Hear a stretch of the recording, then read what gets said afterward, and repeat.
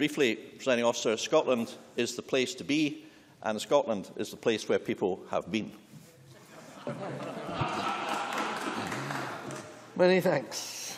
And we now move on to the next item of business, which is a statement by Angela Constance on working together progressive workplace policies in Scotland. Cabinet Secretary will take questions at the end of her statement and there should therefore be no interventions or interruptions. I now call on Angela Constance. Ms Constance, please make your statement. Thank you, Presiding Officer. Over the course of the last two years, there has been a clear and sustained strengthening in the Scottish economy. In the first quarter of this year, the economy moved back above pre-recession levels. And today's labour market statistics show that our recovery is continuing uh, to gain momentum. Unemployment is down and employment is at its highest level ever. Female employment continues to increase and now sits at the highest level since records began. And whilst the female unemployment rate is at its lowest since May to July 2009. Youth employment has increased and fewer young people are now unemployed in Scotland compared to a year ago. And whilst I welcome the drop in youth unemployment that today's figures show, it is so important that all of our young people have the chance to get a foothold in the labour market and we want to see the unemployment figure uh, continue to decrease. The aim of the Scottish Government is to do better than simply return to pre-recession levels of economic performance. Even in the supposed good times before the recession, Scotland had a youth unemployment rate of 13.2% and the UK had a rate of 14.3%. And that compares to just 5.9% in the Netherlands, 7.4% in Norway and 7.5% in Denmark. So we can and must do better. It will take time, but building a labour market and economy that is resilient, adaptable and responsive to change will be key to ensuring that Scotland's businesses compete internationally, delivering long-term prosperity and high-quality jobs. We need to ensure that we support the type of growth that reduces inequalities and helps everyone, not just those closest to the labour market, to realise their potential. We need the type of growth that reduces disparities between different parts of Scotland. And we need the type of growth that is sustainable and resilient and which focuses on maximising returns from work. And through existing devolved powers, the Scottish Government has taken forward a range of ambitious initiatives, including opportunities for all, investment in childcare, sustained investment and reform in education, record numbers of modern apprenticeships and programmes such as Community Jobs Scotland and the Youth Employment Scotland Fund to meet the challenges that we face. We will, of course, do more, presiding officer. For example, by implementing the recommendations of the Young Workforce Commission, we will deliver world-class vocational education and training to support sustainable employment and to boost productivity and I announced £4.5 million of funding in an early response to the recommendations, and we share the Commission's aspirations to reduce youth unemployment by 40% by 2020. Scotland's economy will only achieve its full potential when we maximise the quality as well as the quantity of work, offering equality of opportunity to grow our skills, to apply those skills and to boost business productivity and we need to embed progressive workplace policies.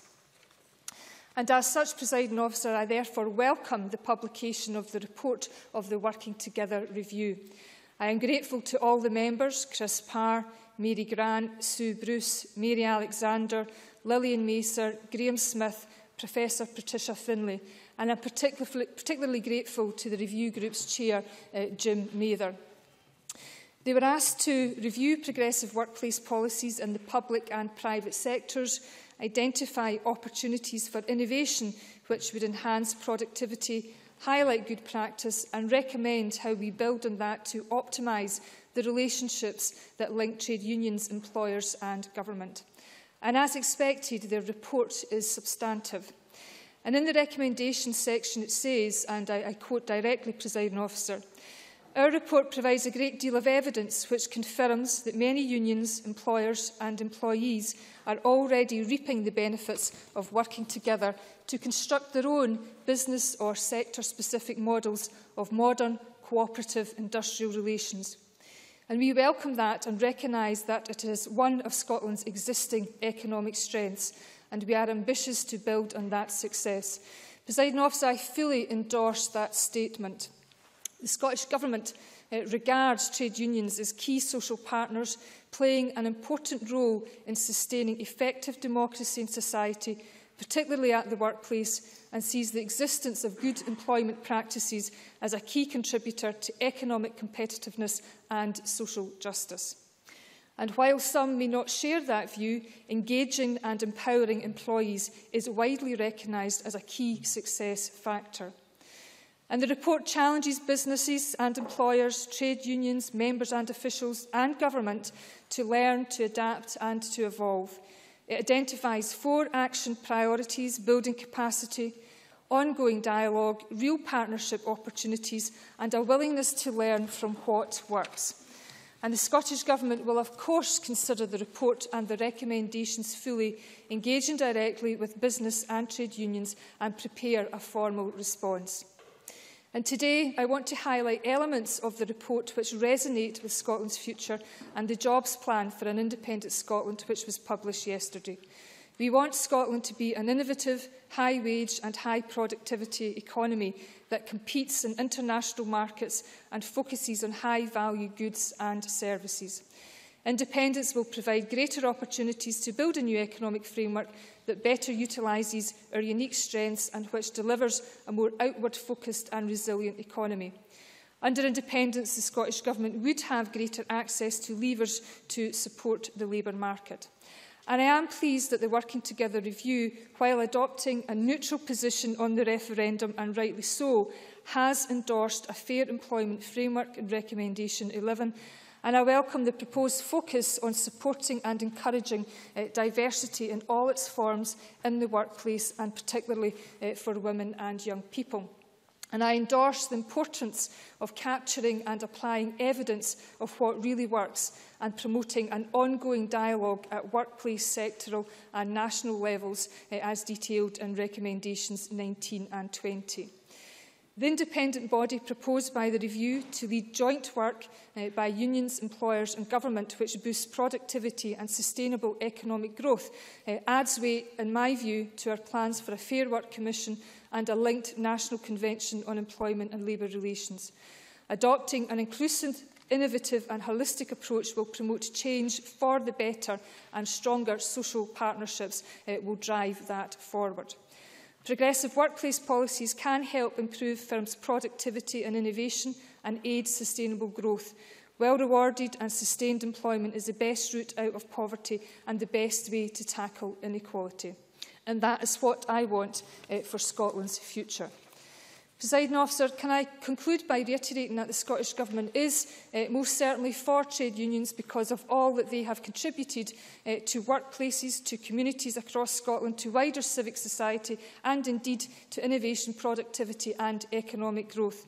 And the Scottish Government is most certainly for businesses because they deliver jobs and the economic growth that underpins uh, opportunities for all. And we are most certainly for fair work and good employment practices. And indeed, presiding officer, we're most certainly for independence.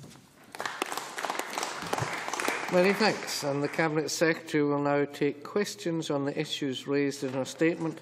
And I intend to allow around 20 minutes for questions, and it would be helpful if members who wish to ask a question were to press the request to speak buttons now.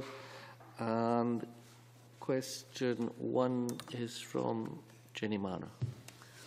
Thank you, Presiding Officer. I'd like to thank the Cabinet Secretary for advance sight of her statement. I'd also like to thank our colleagues in the trade unions and in industry for their work on this report. I think, presiding officer, the employment figures today are to be welcomed. They show that economic growth is steady as part of the United Kingdom, but we all across this chamber want to do better. And I commend the Cabinet Secretary's ambition to deliver world-class vocational education. And as before, Well, I welcome the £4.5 million funding, but I wonder when the detail of how that money will be spent will be available for us to scrutinise. But as Labour said in response to the publication of the Wood Commission, it is very difficult for us, presiding officer, to square the government's laudable words on vocational education with their funding priorities to date. Colleges have had a very raw deal from the Scottish Government with 140,000 fewer students going to college since 2007 and 80,000 of them being women. And I would like to repeat to the Cabinet Secretary that a reduction target of youth unemployment of 40% by 2020 is far too modest. Our government should have much higher targets for the scourge of youth unemployment.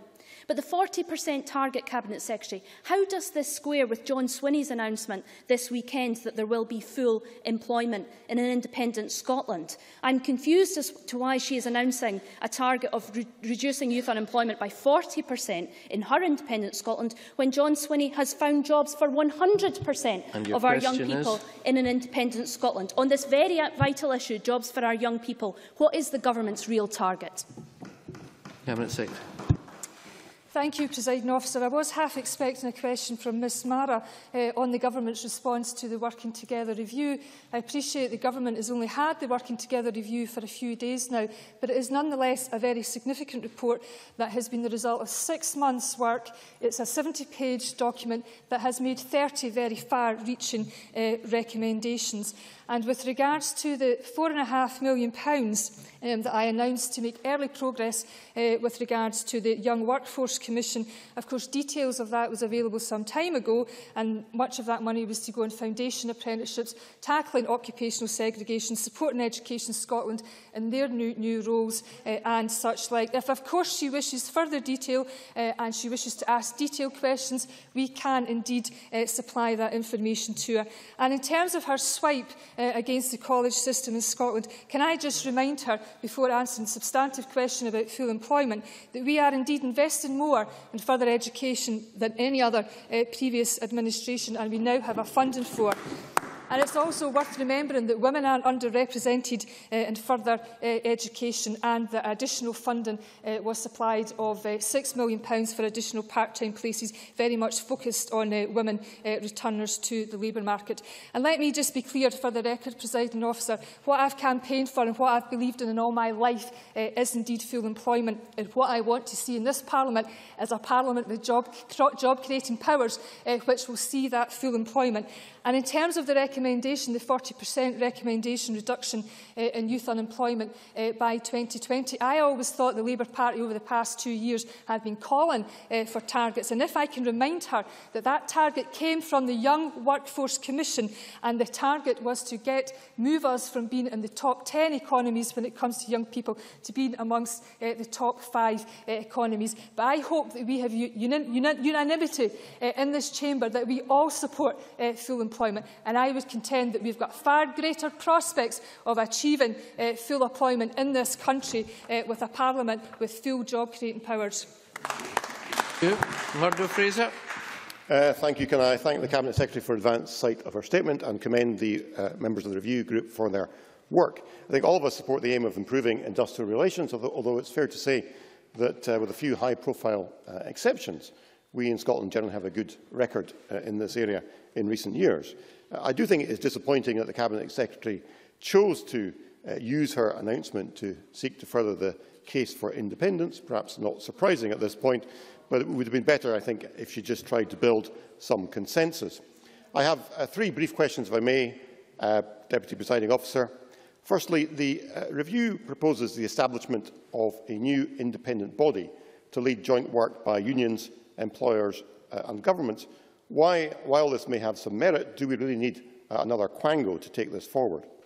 Secondly, uh, recommendation 21 of the review group asks the Scottish Government to use procurement rules to promote a living wage.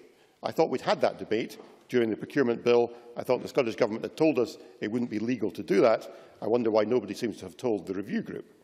Uh, and thirdly, recommendation 24 asks the Scottish Government to legislate to ensure worker representation on all public sector bodies' boards. Uh, if the Scottish Government is going to look at that, can I suggest that they also look at the question of representation on such boards of consumers or service users.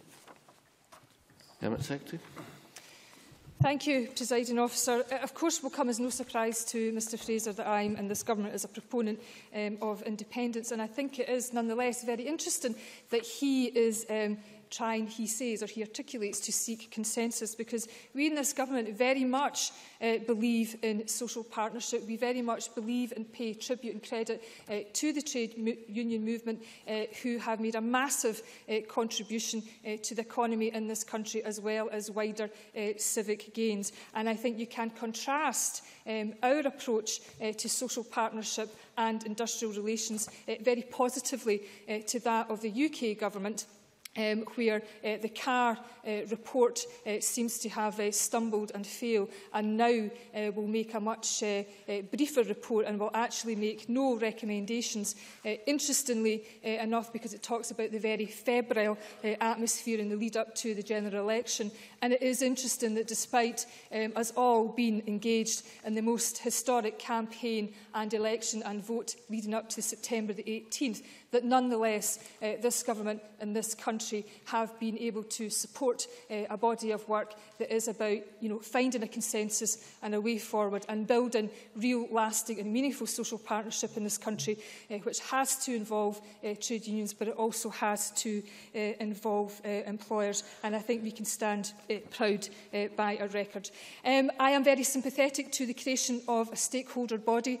Um, I do not see it as another Quango. I do see it is an essential forum uh, to create a win-win situation uh, both for employers and workers uh, the length and breadth um, of this, this, this country. And if you believe in social justice and sustainable economic growth, you have to uh, see social partnership and the bodies and the dialogue um, and the ongoing uh, dialogue and working together uh, as part um, of that vision.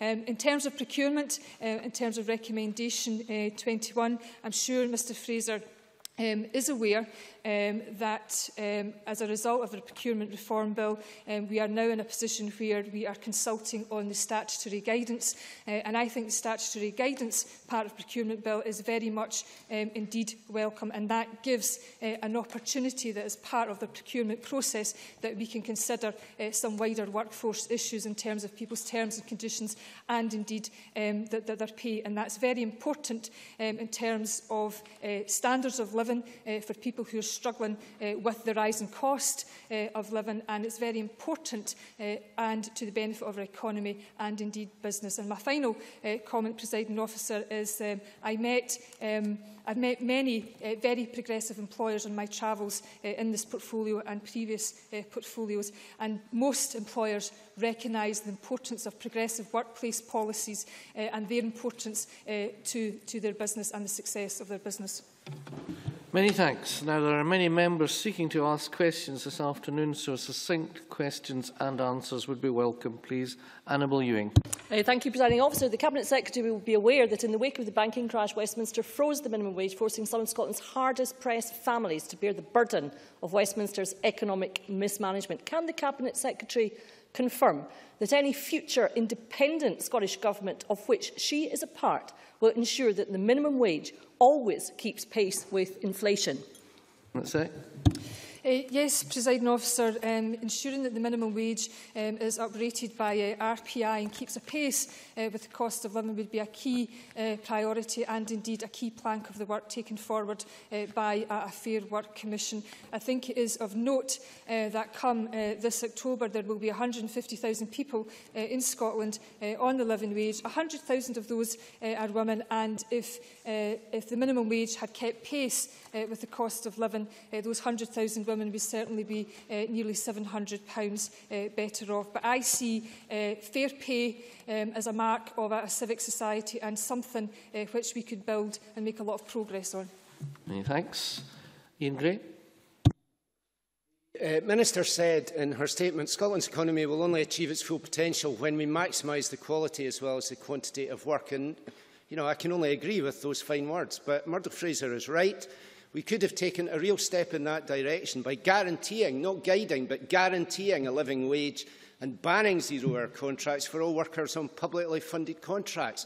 Why on earth would the Minister and her colleagues not work together with us and the trade unions to make that happen? Cabinet Presiding officer, I do think it's um, unfortunate that Mr Gray seems to have a, a short memory because my recollection was that Mr Gray um, and uh, trade union uh, colleagues to us all worked very closely with the government. And while there was indeed uh, a disagreement as to what was and was not possible uh, under um, EU uh, le legislation, I think considerable progress uh, was made under the, the procurement uh, legislation and in the fact that the uh, amendments uh, proposed by the Deputy First Minister uh, included uh, the, the living wage language. Um, we do, of course, uh, all live with the difficulty of the fact that we have a national minimum wage enforceable in law, which is much lower uh, to the living wage, which is not enforceable by law. And I think there's been very clear uh, guidance from that, from uh, Commissioner uh, Barnier. But it is a shame that we can't recognise uh, where progress has been made. Procurement has to be used as a power of good and to improve the, the working conditions uh, for people uh, the length and breadth of this country. Um, the debate you know, has moved forward. We will always look to see what more we can do. And the consultation on the statutory guidance just now is very important. Many thanks. Christina McKelvey. Thank you very much, President Officer. In the report by the Jimmy Reid Foundation, Working Together, a Vision for Industrial Democracy and a Commonweal Economy tells us that the country with the strongest worker participation rate, according to the EU Participation Index, is Denmark.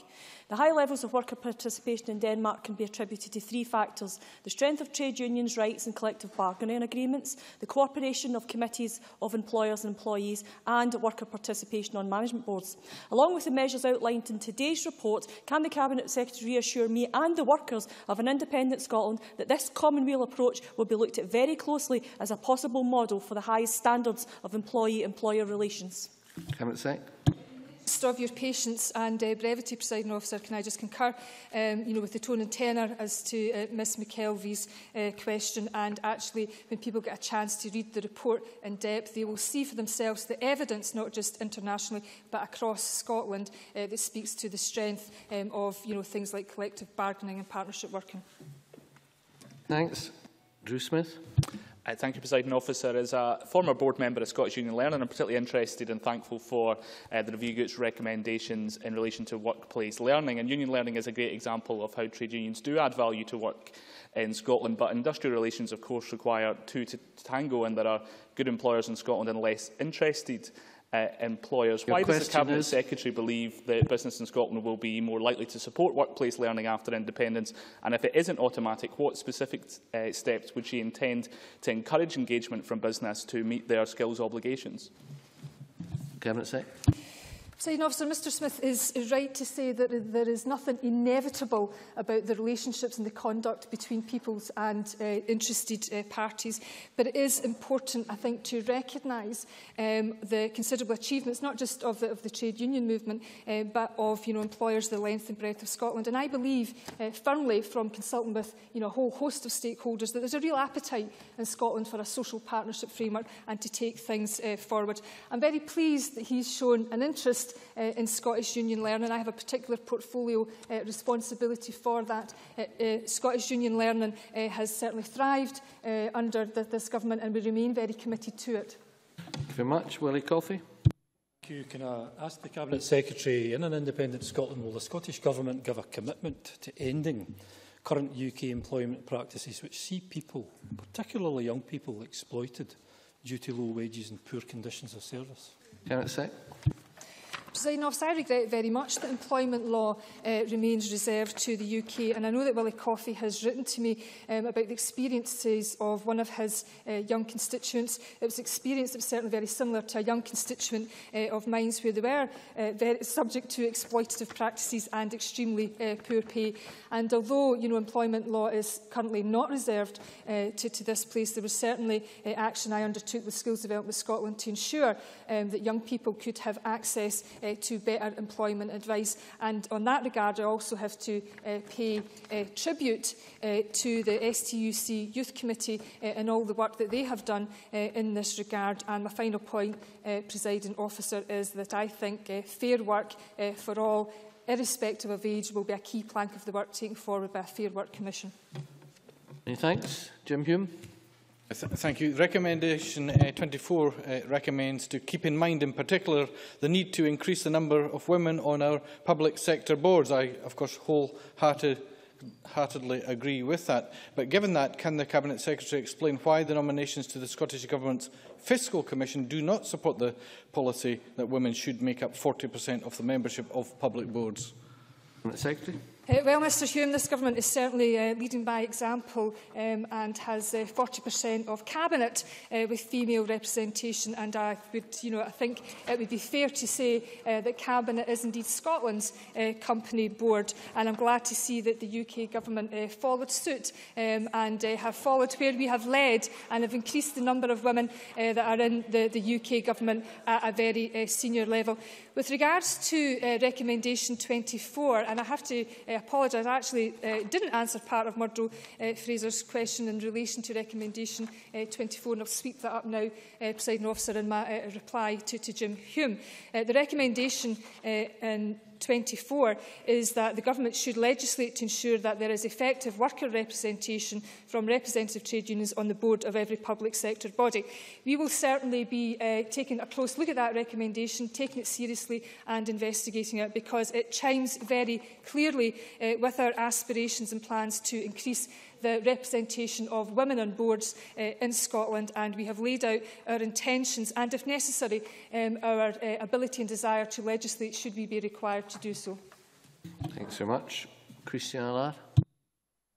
The UK government's austerity policies and welfare cuts are hitting women the hardest. Does the Cabinet Secretary agree that by increasing the participation of women in the workplace and reducing the gender pay gap that exists in some professions, Scotland could see clear economic benefits? Cabinet Secretary.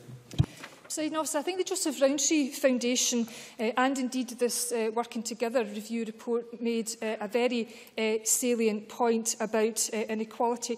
We often, when we're discussing and debating inequality, talk about it in terms of uh, welfare reform or cuts uh, or tax policies, uh, rightly so, but we mustn't forget to say uh, that well-rewarded, high-quality work is actually uh, the best route out of poverty. Thanks. I call Ken Macintosh now, please.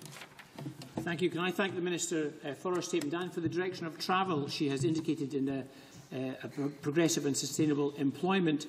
The concept of decent work is one that we can unite around, although I would observe it stands in uh, contrast to the government support that she gives to uh, union-avoiding and tax-avoiding companies like Amazon, Presiding Officer.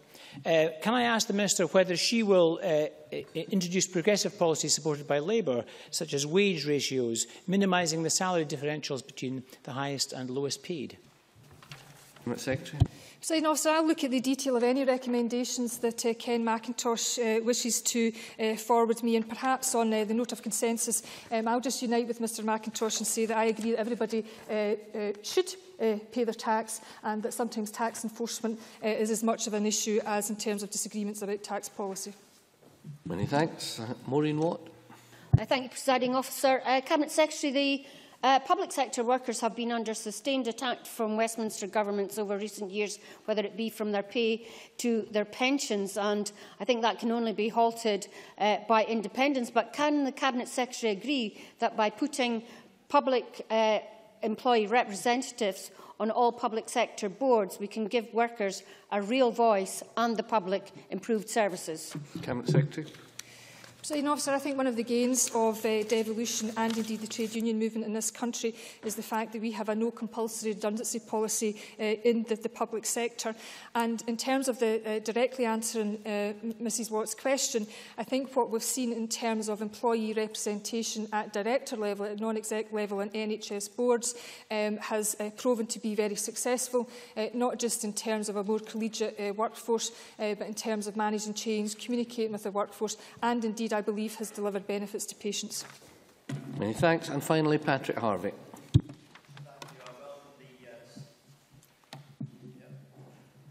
Phone from Mr Harvie, please.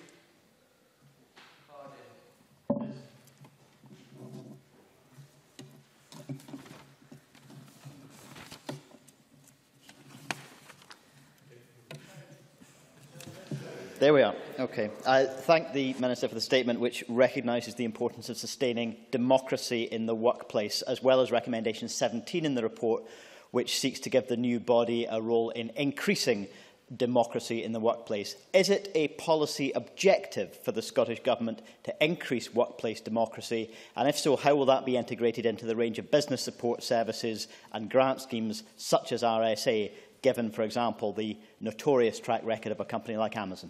Cabinet Secretary. Yes, I mean, uh, we do have uh, a policy position of supporting uh, workplace democracy uh, and uh, participation. Um, we, of course, as a government, have to reply uh, to the detail of this very extensive report. And can I say that uh, recommendation 17 is very much linked uh, to recommendation 10 in terms of how you get that infrastructure uh, for uh, social partnership. Can I just leave Patrick Harvey with a quote actually from the report um, on page 12, which I think is hugely significant. And it says that a number of recent initiatives undertaken by the Scottish Government and others suggests that there is a growing appreciation that what happens in the workplace is important in its influence on economic activity, performance, growth and inequality, and that it's important as macroeconomic factors, and therefore uh, gives us scope, uh, greater scope for intervention and workplace practices uh, that is going to make a difference to, to working lives. Many thanks, Cabinet Secretary. That concludes the statement on working together progressive workplace policies in Scotland. I'll allow a few seconds for members to change places before the next item of business.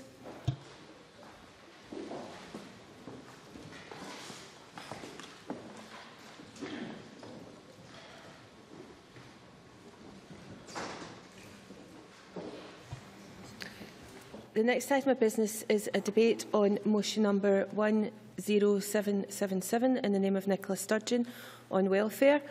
I invite all members who wish to participate in this debate to press the request to speak buttons now, please.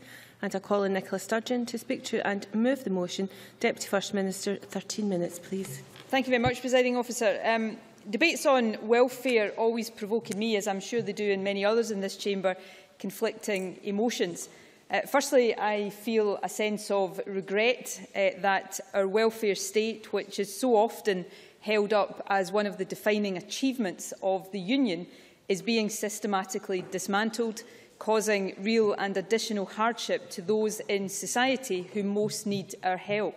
There's now very strong evidence that the Tories' so-called welfare reforms are failing people right across Scotland and that their cuts are having a devastating impact in some of the most vulnerable individuals, families and communities in our society.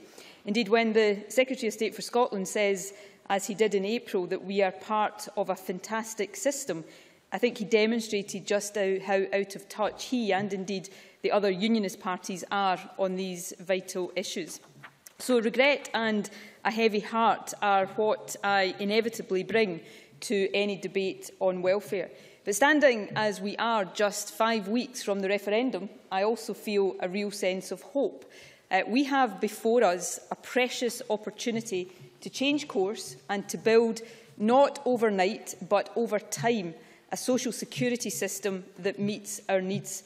One that supports the needs of our economy by equipping people better for the world of work, one that supports the needs of individuals by ensuring that those who do work get a decent wage for the job that they do, and one that supports the needs of the vulnerable by ensuring the decent safety net that I believe, and I know many people uh, agree with, is one of the hallmarks of a civilised society.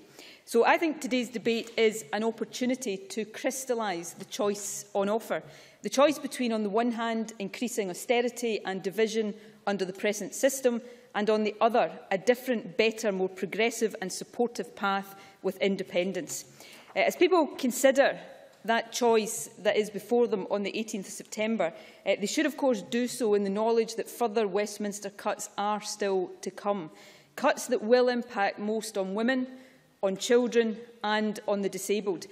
And as people consider that choice, I am confident that the policies we have outlined and the vision we put forward will encourage them to vote to take these powers into our own hands perfect illustration of that choice and a topic that we've discussed many times before in this Parliament is the bedroom tax. Yesterday, the Welfare Reform Committee considered and uh, I'm glad to say agreed to support the Section 63 order to transfer the power over expenditure and discretionary housing payments to Scottish ministers. That's a welcome step. It's a step that means we can now ensure that no person in Scotland need be adversely affected by the bedroom tax. But, presiding officer, it is, is it not, a democratic outrage that a tax that had no political or popular support in Scotland was ever introduced here in the first place. And make, make no mistake, all we are able to do with the bedroom tax is mitigate, to take money from other parts of the Scottish budget to mitigate a policy that had this Parliament had a say would never have been introduced at all. Section 63 order will not end the bedroom tax, only by this Parliament having the power to decide will we be able to do what the majority in Scotland, I believe the vast majority in Scotland want, and that is to abolish the bedroom tax completely. And that is, I think, the nub of the matter, the nub of the debate we are having today. With the UK parties now battling to outdo each other and how tough they can be on welfare, it's becoming very clear that if we truly want a system that treats people with dignity and respect, then independence is the only option, the only way for us to achieve that. In Scotland's future, we set out a vision and a range of measures that will see us start to ensure that we have a welfare system more suited to Scottish needs.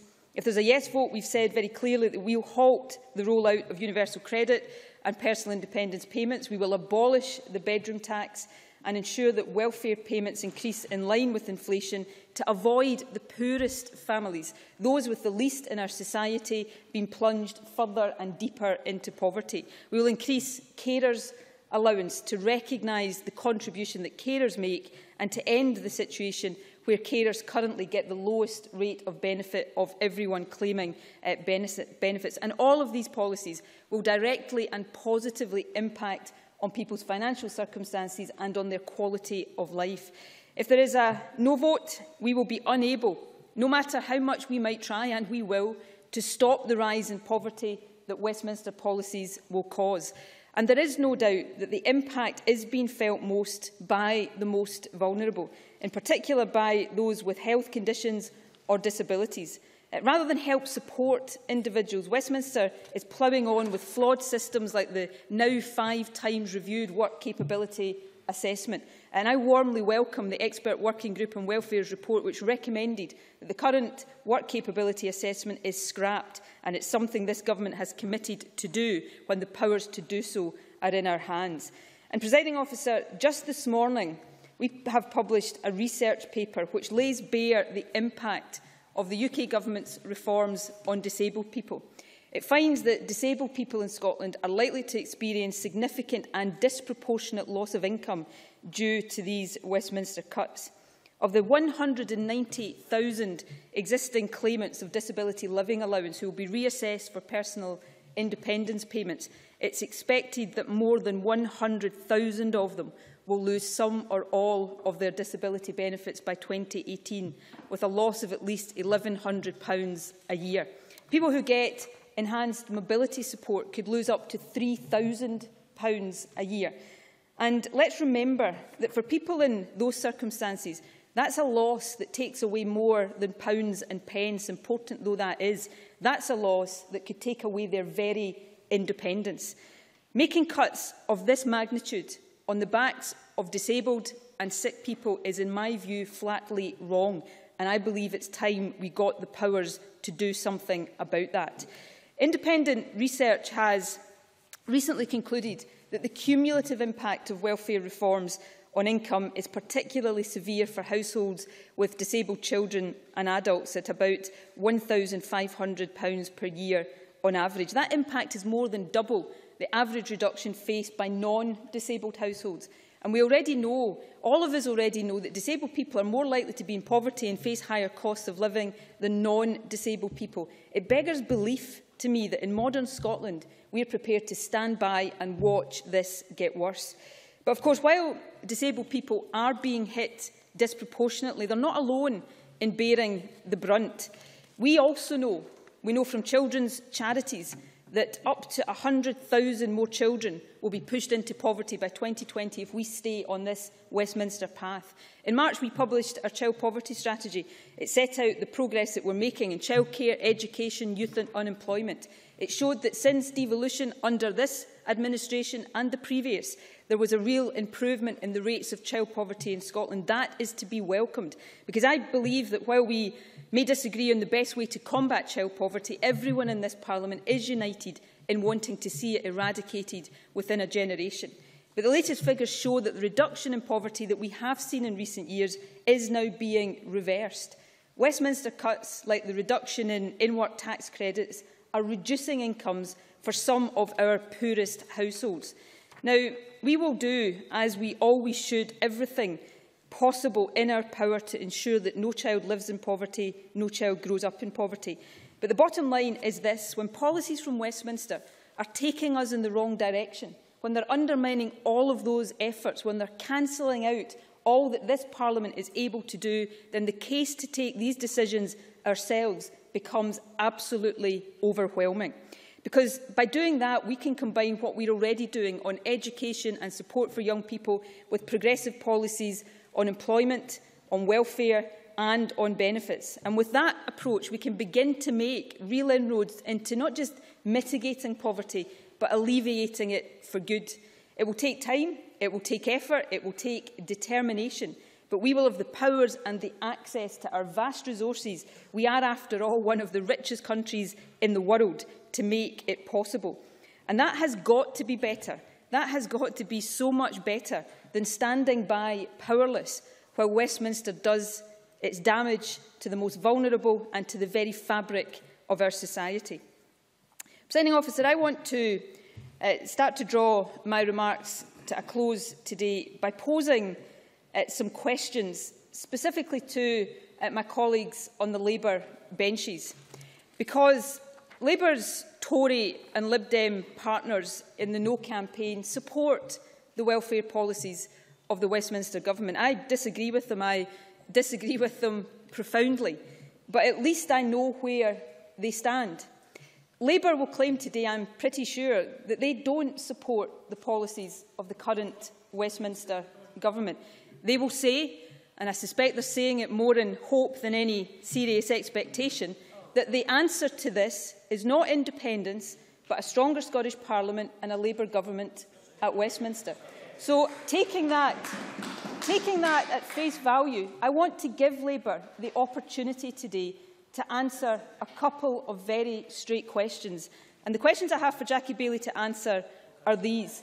Firstly, what new powers is this Parliament guaranteed to get, short of a yes vote, that will allow us to stop the assault on the incomes of the disabled, of women and of children?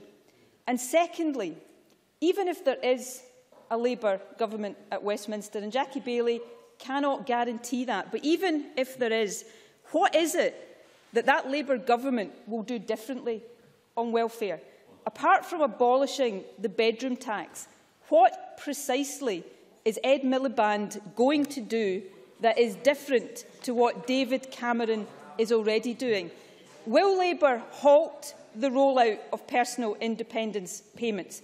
Will Labour protect the disabled from the cuts that I have outlined today that they stand to face if personal independence payments go ahead? Or is the reality that the disabled will face exactly the same cuts under Labour as they do under the Tories? These are important questions if we are to crystallise that choice that faces people on the 18th of September.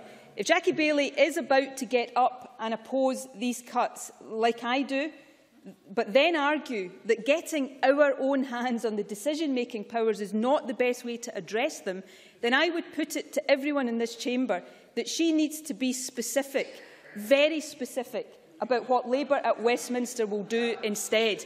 And then she needs to tell us what will happen if we end up with another Tory government after all.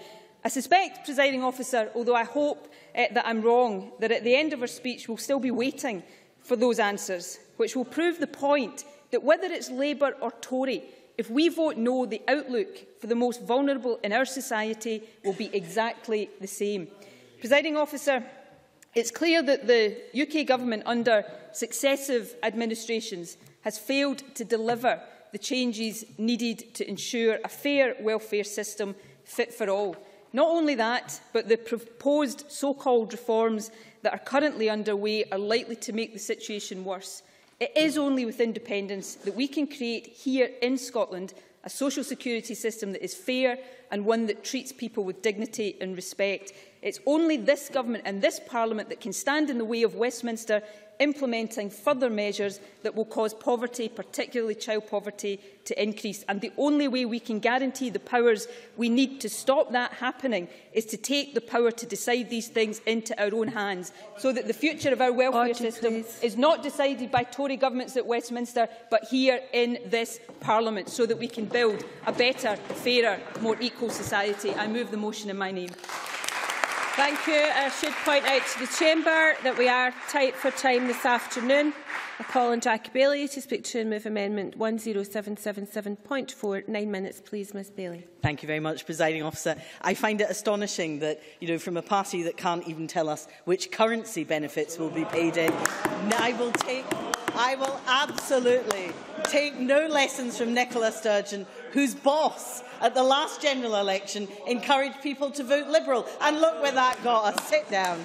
Presiding officer, I Order, welcome the please. opportunity to Order. debate welfare because it was, of course, Labour in the post-war austerity years that was bold in its thinking, creating the welfare state and creating the NHS. And I am very clear, and Nicola Sturgeon's right, we are witnessing the destruction by the Conservative um, and Liberal Democrat government of that welfare state. There is no doubt in my mind that the consequences of the so-called Tory reform of the welfare system are frankly appalling. You do not need to look far to find examples of people being treated inhumanely, whether it is sanctions driving people to food banks or people waiting months and months for their personal independence payments. The distress is self-evident. And it is not just those who are unemployed that need help.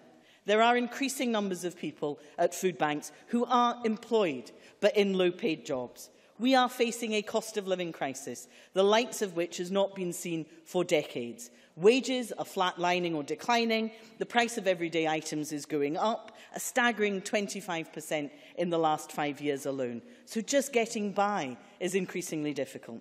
I believe there is a shared analysis about the extent of the misery caused by the Conservative policies for those who are disabled, those who are unemployed or in low-paid jobs, and that for the majority in this chamber, a rejection of what can only be described as an ideologically driven attack on some of the poorest in our society. But the real question here is what we do about it. For the SNP, the answer is independence. Their answer to every question, no matter what that question is. When Labour was building the welfare state, the answer was independence. When we were creating the NHS, the answer was independence. And now, as families face a cost of living crisis, the answer again is simply independence. The truth is that people in Scotland are caught between two governments with the wrong priorities. Absolutely. Obsession with the Constitution blinds the Scottish Government from taking action now. We can provide people with much needed help now. We have the power to do so. It is frankly criminal not to use it. No, we can, of course, vote the Tories out. Return a Labour government in 2015, which is the quickest route to making a difference to people's lives. No, I think you should sit and listen. Can I welcome the efforts of the expert group on welfare. To be Members frank, not giving way. I expected more detail and a better understanding of costings from the SNP government. For many, many years now, they have argued for the transfer no for the transfer of power over welfare, yet the bulk of the recommendations will not be considered until after the, after the referendum. Again, as with much else in their proposals for independence, there is a lack of clarity, a lack of certainty, and there is considerable risk. People in Scotland deserve better than a cross your fingers and hope for the best approach to welfare and the future of the country. In a recent YouGov poll, and I, I'll take an intervention in a minute, in a recent YouGov poll, 79% of Scots said they wanted their pensions to be the same across the UK as did 75% of people for welfare. Yep. They agreed yep. that pooling and sharing our resources across 63 million people rather than 5 million people makes sense. Like us, They believe in something bigger than independence. They believe in social solidarity across the UK. They want the pensioner in Liverpool to be paid as the same as the pensioner in Linlithgow, the disabled person in Dundee to get the same support as a disabled person in Doncaster. And they want a child who is poor in Gateshead to be cared about just as much as the child who is poor in Glasgow. I'll take an intervention from Nicola Sturgeon if she can tell me why 79% of Scots are wrong. Deputy First Minister. What Jackie Baillie is setting out there is why people all over the UK should lose the same amount in benefit under the Tories. But I've got a very... We set out, we set out today Order, how please. the move to personal Order. independence payments will cost 100,000 disabled people more than £1,000 a year. Will Labour halt the rollout of personal independence payments, yes or no? Jackie the, Baillie. The, the presiding officer, that clearly was a speech rather than a question. She has set herself, the Cabinet Secretary has set herself, Order, has set herself against Order. The 79% of Scots who believe in something bigger than independence. Let Clearly, me deal order, with, please. Let Clearly, me deal with their announcement not taking on intervention. Allowance, because it is right that we recognise the contribution of carers to our society and provide them with support. I know the Cabinet Secretary acknowledges that increasing carers allowance alone is no substitute for the range of other services that carers need like respite. However, it is disappointing that the Scottish Government chose to spin the announcement, saying that 102,000 carers would be better off, costing almost £60 million, when she knows that this is just not true.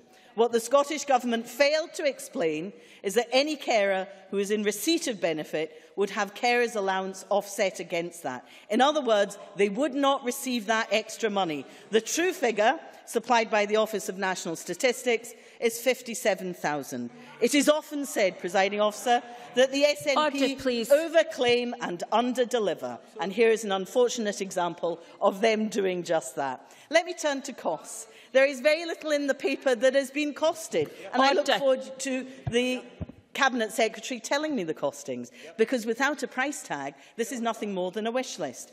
Firstly, there are the set-up costs for our IT system, estimated to be 300 to 400 million pounds. Yesterday, the Cabinet Secretary tried to suggest that we could just use the UK system, just like Northern Ireland, forgetting, of course, that they're going to remain in the United Kingdom, whilst we would be a foreign country, and we might not even have the same currency. But, you know, also using the UK system Order, means please. that she can't make the changes she says she wants to make.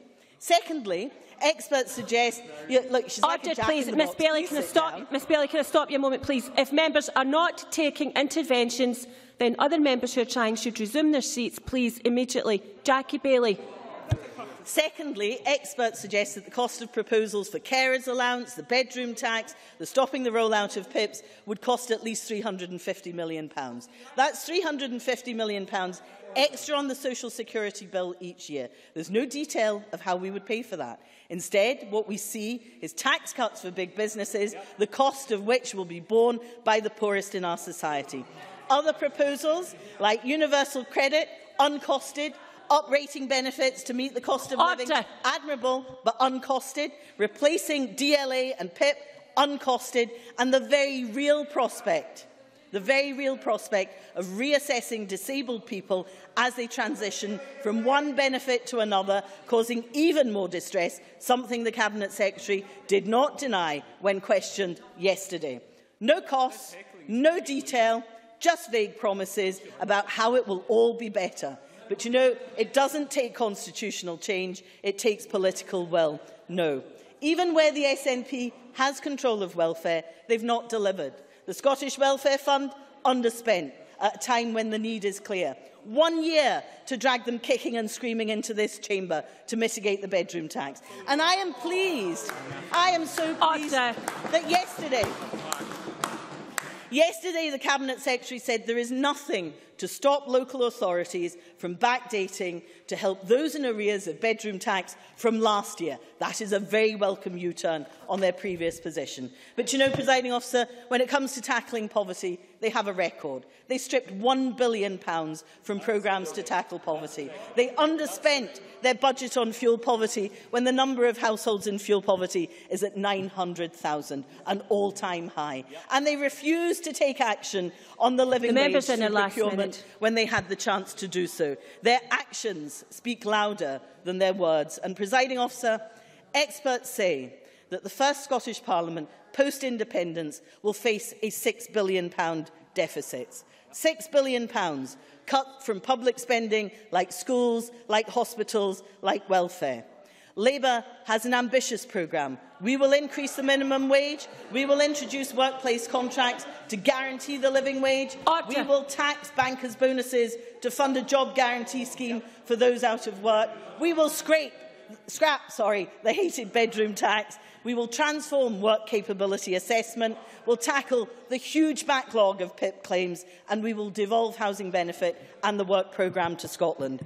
What Labour promised, Labour will deliver. What we've been promised by the SNP is vague, it's uncosted, it's likely to amount to hundreds of millions of pounds, more than we currently spend, and they've no idea how it's going to be paid for. Ms Baillie, I have given you some extra time for all of the interruptions, but you really must come to a close. I, my final sentence, presiding officer, it relies more on a cross your fingers and hope for the best approach. It is inherently dishonest, and the people of Scotland deserve much better than that. thank you. We have a long afternoon ahead in this debate. Can I remind members that if members are not taking interventions, then they must be respectful and resume their seats. Can I also remind members that comments from sedentary positions are not acceptable? Thank you. I now call on Alex Johnstone to speak to and move Amendment 10777.2. Mr Johnstone, six minutes. Thank you very much, Deputy Presiding Officer. It comes as no surprise that the timing of this debate, just five weeks before a referendum, uh, has coincided with the publication of a report which allows the Scottish Government to make further claims about its position on welfare. However, the problem that drives us today is the one that this government does not realise the role that welfare pays, uh, plays in achieving an economic recovery. The Westminster Government have made it quite clear that welfare does have a role in economic recovery, and it's no coincidence that we in this country, in the UK as a whole, have uh, the proportion of workless households is the lowest ever recorded. The number and proportion of children in these households is at a record low. The number of children in households where no one has ever worked is at its lowest level for some 15 years. The inactivity rate at 21.7% has never been lower, reflecting in falling numbers in cl claiming inactive benefits. Employment is up in every UK region. Since the election, three-quarters of the rise in, unemploy uh, in employment are people working full-time. And particularly in the 16 to 24 age group, uh, the number of those uh, not in employment or education or training, is at the lowest level for over eight years. When we talk about these numbers, uh, the government in Scotland often like to claim a responsibility for that. But they cannot claim that responsibility if they pursue a negative por uh, policy in relation to our welfare reforms. And the key welfare reform, which has been raised by the, the, uh, the press release which came out this morning, is the change in disability benefits. And looking at the um, looking at the press release that was published this morning, Uh, the government make it clear that 100,000 Scots are expected to lose some or all of their UK disability benefits by 2018, with individuals set to lose uh, at least 1,120 per year. Now, these figures are figures that we have to look slightly more closely at. First of all, of the 190,000 Scots who are in receipt of disability benefit, if 100,000 are likely to lose out, then it's reasonable to expect that the, the bringing in of personal independence payments would actually benefit some 90,000 Scots, the 90,000 Scots who are most severely disabled. And that is the key change that moving from DLA to PIP is designed to satisfy. It is a desire to ensure that those who are in greatest need benefit from the resource that is available. Of course, that figure of 100,000 that will see uh, their support reduced includes a significant proportion who, as a part of this change, will move from disability uh, payments onto universal credit. Of course, that reduction in the total budget is not accounted for by the Scottish Government and uh, consequently skews the figures. But the impression is also being given that the amount of money being paid in disability benefits is somehow reducing.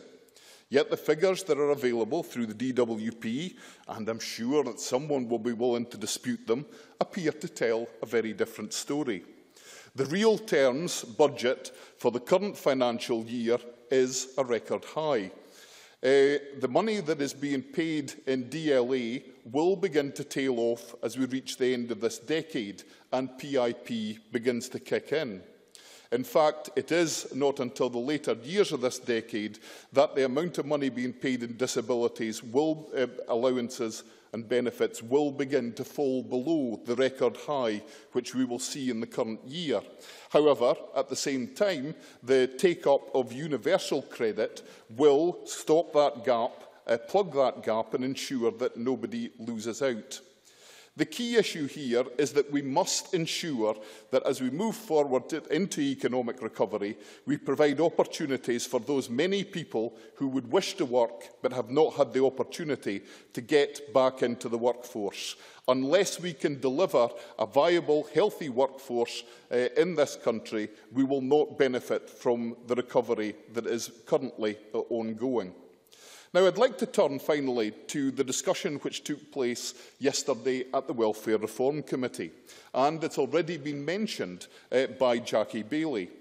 Because it was during that discussion that uh, Jackie Baillie, Michael McMahon and myself raised the issue of funding and how the Scottish Government intend to fund the promises they have made. Well, under questioning, it became relatively clear that the promises that are being made are by and large empty and unfunded. It would appear that the £6 billion pounds that the Cabinet Secretary likes to talk about as the money that's being removed from the overall budget is not Order. to be misinterpreted as a promise to reinstate that money. There appears to be no um, financial commitment in the years, first years of an independent Scotland to returning any of that resource uh, to the people whom the uh, Cabinet Secretary claims it has been taken off from. Uh, I will uh, finish with the, taking the opportunity to ask a question of the Cabinet Secretary, uh, and she can then answer that question uh, sometime later in the debate if the opportunity arises. And that is, will she be honest with the people of Scotland? Will she tell us, prior to the 18th of September, what it is she intends to spend additionally within the budget for welfare in an independent Scotland? Will she tell us how it will be spent, what will be spent, or will she come clean and tell us that she intends to spend not a penny more? Thank you. We now turn to the open debate. If we do have to pause for disruptions this afternoon, then obviously the time will come out of member speeches. I call Kevin Stewart to be followed by Ken Macintosh. Maximum six minutes, please. Uh, thank you, Presiding Officer. Uh, we've already heard this afternoon that the Secretary of State for Scotland, Alistair Carmichael, thinks that we have a fantastic welfare system. I would like to see Mr Carmichael uh, say that to some of my many constituents who are suffering because of these horrendous uh, welfare reforms that we are seeing from the Tory Liberal government in London, backed uh, by the Labour Party to the hilt. Uh, because at the end of the day, uh, Jackie Baillie uh, said earlier on that our answer to everything was independence, which it's not, but her answer to everything seems to be stick with the Tories. That is the Labour answer. Stick with the Tories. That's certainly uh, not what I want to see uh, for Scotland. And let's look at some of the impacts of these welfare reforms. Since 2009, there has been a staggering increase in job seekers' allowance sanctions. In a written answer uh, to myself, uh, it shows that there has been a 65% increase in the number of disabled people who have been sanctioned in that time. A 76% increase in the amount of women being sanctioned. And a staggering 563% increase in the amount of lone parents who have been sanctioned uh, over that period of time. It is absolutely clear that the current UK sanctions regime is neither ethical nor proportionate and that it has the potential to leave already vulnerable people at risk of poverty. And we see uh, that poverty, uh, that increase in poverty, uh, by the rise in the usage of food banks in Scotland. A 400% rise uh, in the usage of food banks in the last year. An 1,103% rise, according to the Trussell Trust, in the usage of food banks by children. I believe that that is completely and utterly unacceptable, and that is not the kind of society that I want to live in.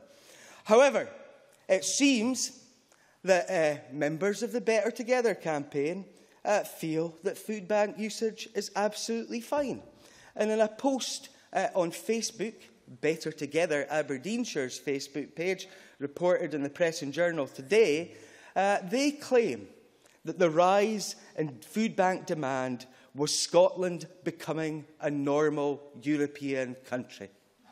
Scotland becoming a normal European country. I don't know who wrote that, but quite frankly, they're off their head. I have to say that I want to live in a, a normal country, a normal independent country, where we don't have to rely on food banks, where families and children, including families in work, have to queue to get food parcels. That is not the kind of country that I want to live in. It may be uh, one that Better Together activists uh, want to live in. Uh, no, I won't, because uh, your side will not give way. Let me turn to some of the uh, other remarks that have been made by other groups uh, about these welfare reforms.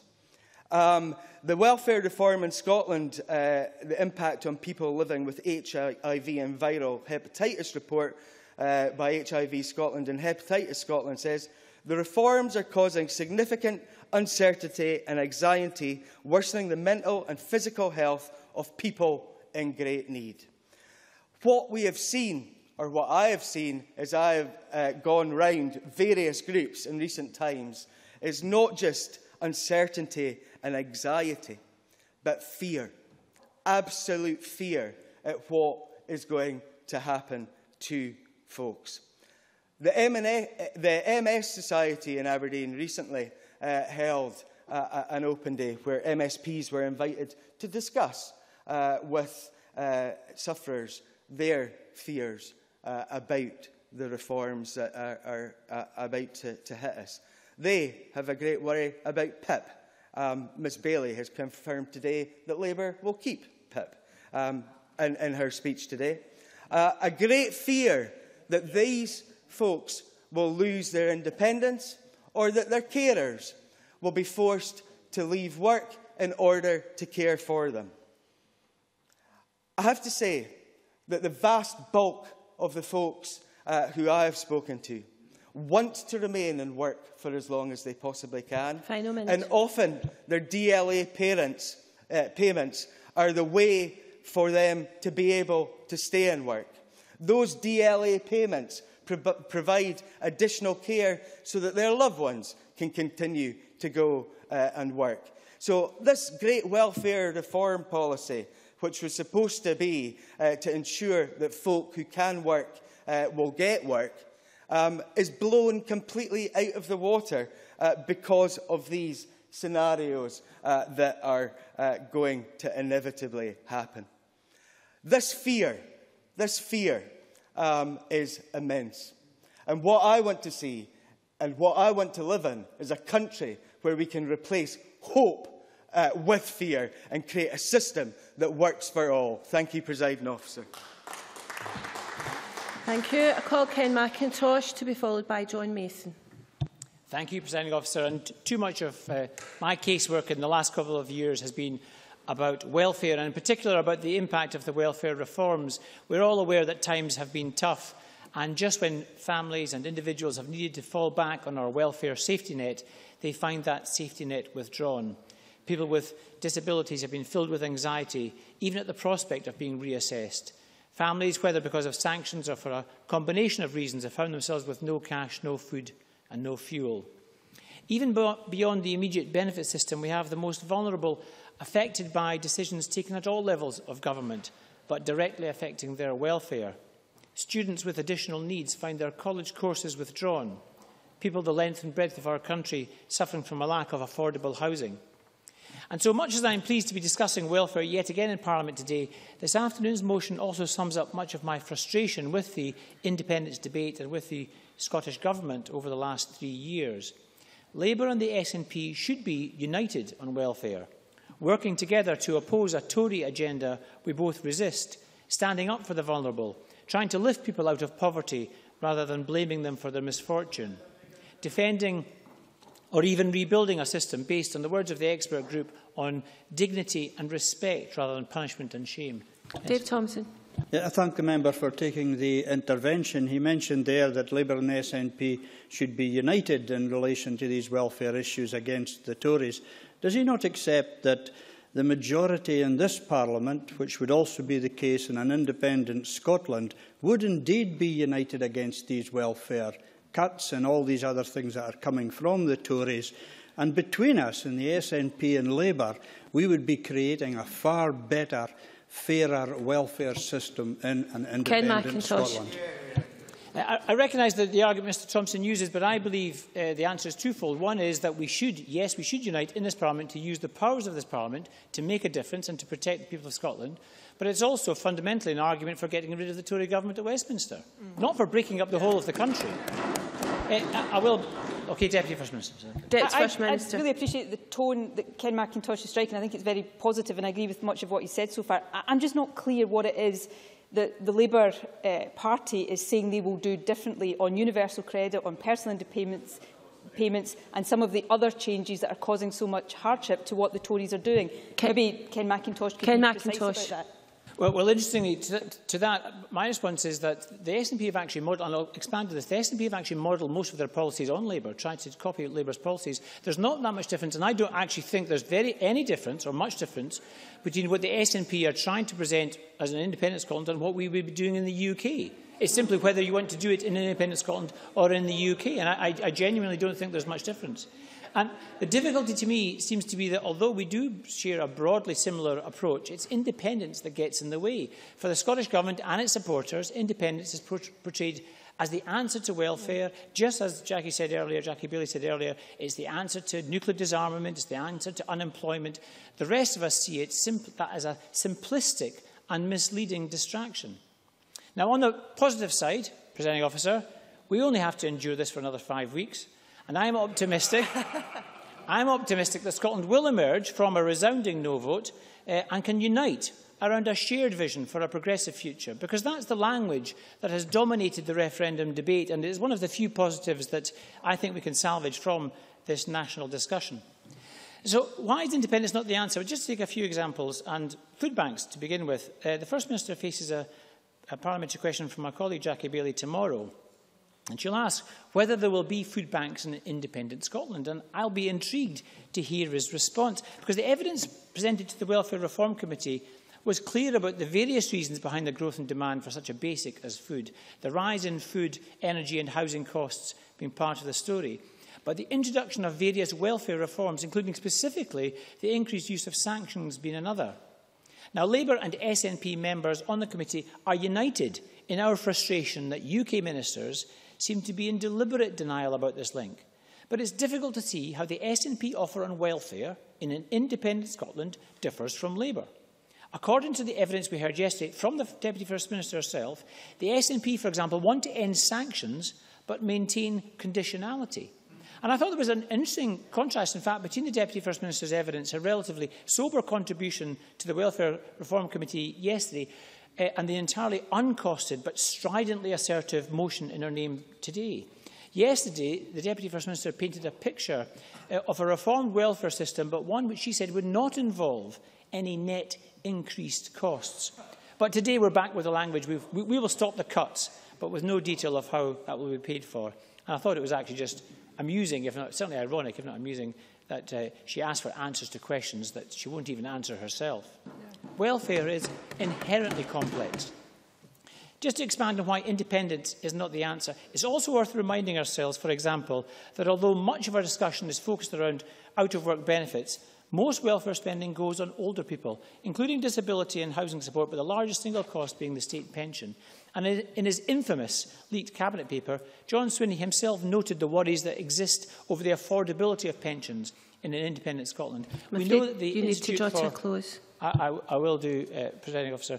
The Institute for Fiscal Studies noted that the average age of the Scottish population will increase more rapidly than for the UK. And the ONS, the Office for National Statistics, said that Scotland is projected to have a higher and increasing dependency ratio amongst those of pension age uh, presiding officer, most Scots recognise that we are better off working together with, with the rest of the UK, pooling and sharing our resources, but also using the powers of this Parliament to make a difference, rather than simply using welfare to nurse a grievance with, well, with Westminster. Thank you. I'm sorry to advise Parliament that I don't have time to give back for interventions. Um, interventions must be contained in speeches. John Mason, to be followed by Liam McArthur.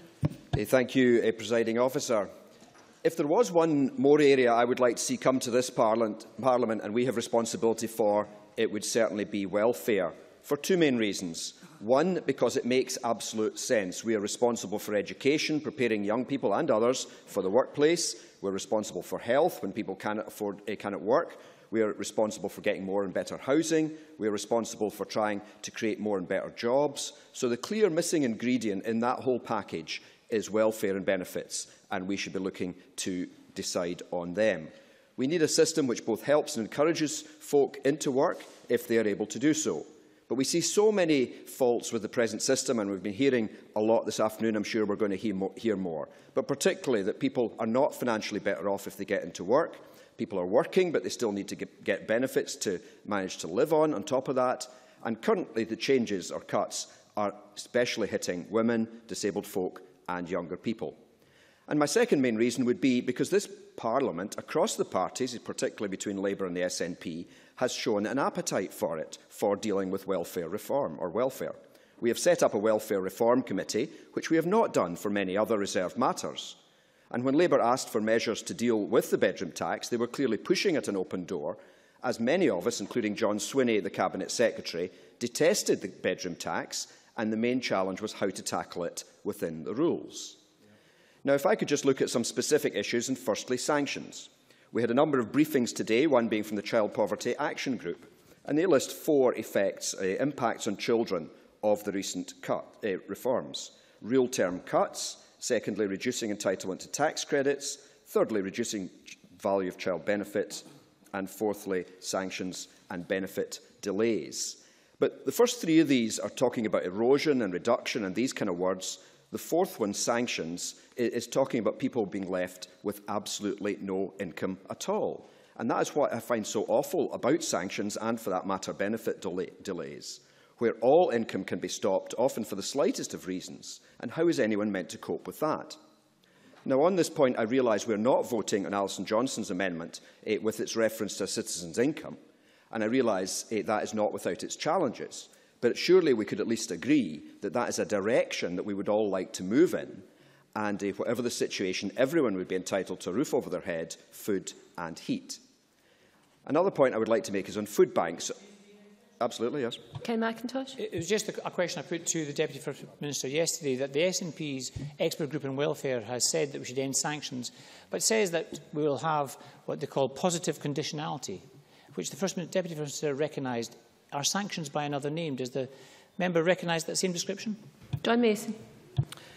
I mean, I think one of the key things the, the Deputy First Minister said it was about we cannot change the system overnight, but it's the direction we're going on. And that's what I want to stress in my argument today, that I think Labour and ourselves, and that the example has been the bedroom tax, want to move in the same direction to have a good, strong uh, welfare system. And part of that, I think, I would like to move to is the suggestion I've just uh, made, that there should be a certain level of unconditionality, that people are entitled to a certain income no matter what, because that's what we give to prisoners, and presumably that's what everybody should be entitled to. Now, I'm going to uh, run out of time here, but just to mention food banks, uh, I was meeting Monday one of the local coordinators for the north and east of Glasgow, and she and I are both convinced that more people are needing to use food banks than are actually accessing them at the moment.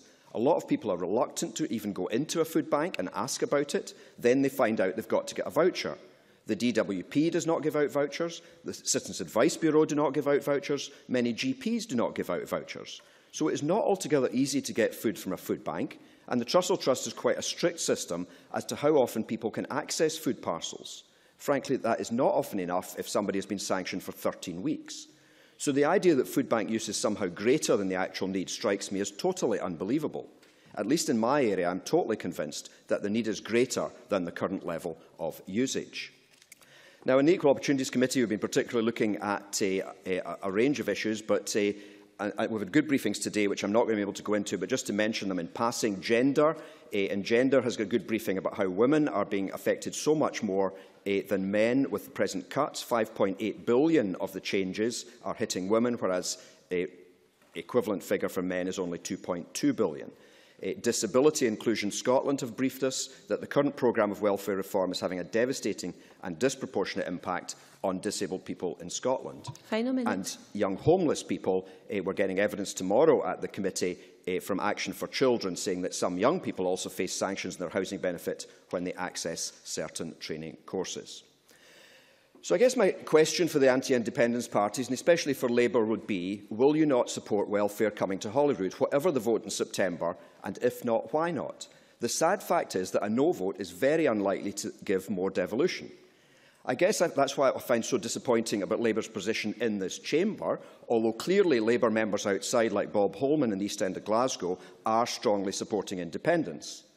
Why are Labour here putting the Constitution ahead of the real needs of their constituents? Why are they so focused on the Constitution and refusing change? Will they not just choose what is best for real needy people? Surely they would accept that Labour and the SNP here at Holyrood are going to produce together better welfare solutions than Labour and the Conservatives at Westminster. Even if we give the Labour amendment the benefit of the doubt and assume they win the 2015 UK election, the Tories are likely to be back in in 2020. Fred, and then they will undo anything positive that has been done. So Labour have the choice. Do they want Labour and the SNP working together eh, to do welfare, or do they want to alternate with the Tories at Westminster? Thank you very much. I'm afraid I now have to keep people strictly, members strictly to six minutes. Liam McArthur to be followed by Annabel Ewing. Uh, thank you, Deputy Presiding Officer. And I welcome uh, this latest debate on welfare, an issue clearly of fundamental importance to people right across uh, the country. Indeed, I declare a personal interest as someone whose brother uh, has been a long-term recipient of DLA. So let me assure the Chamber at the outset that I need no persuading about the anxieties felt by those directly affected by these changes and indeed the associated uncertainty. And it's partly for this reason I believe we must be absolutely clear about what we're proposing to do and equally importantly why. It is also why we need to continue to listen carefully and be prepared to argue for change where evidence shows that things are not working. I do not doubt that the process of welfare reform has been difficult and unsettling, but I do think that the UK Government can legitimately claim to have been clear about the objectives of reform but also showing a willingness to listen and adapt where necessary, including in relation to the needs of cancer sufferers, those living in residential care and, of course, the way in which the spare room levy is applied. This will need to continue, but it does not seek to shy away from the need for reform, something accepted by most independent experts and all political parties, including, it would seem, the SNP. And little wonder, the reality is this current system too often provides the wrong incentives. For too many people, it acts as a real obstacle to work. Over the period when our economy experienced almost uninterrupted growth, the welfare budget increased in real terms by around 40%, and that makes no sense, nor is it sustainable.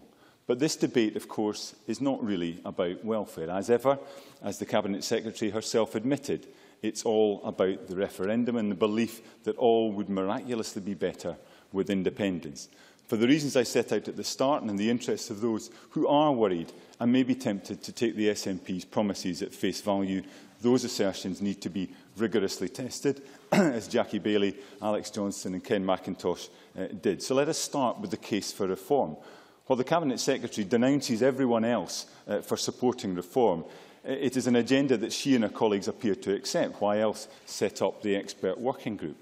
However, the challenge facing this group was not insignificant. Members were presumably tasked with coming forward with proposals that would honour Ms Sturgeon's commitment to a welfare system that was, quote, fairer and simpler, would make work pay, that was, quote, innovative and included appropriate targeting, that didn't involve cuts, but which would not have the £2.5 billion needed to honour the promises made by SNP ministers in opposing almost every change put forward by the UK government. So, how did they do?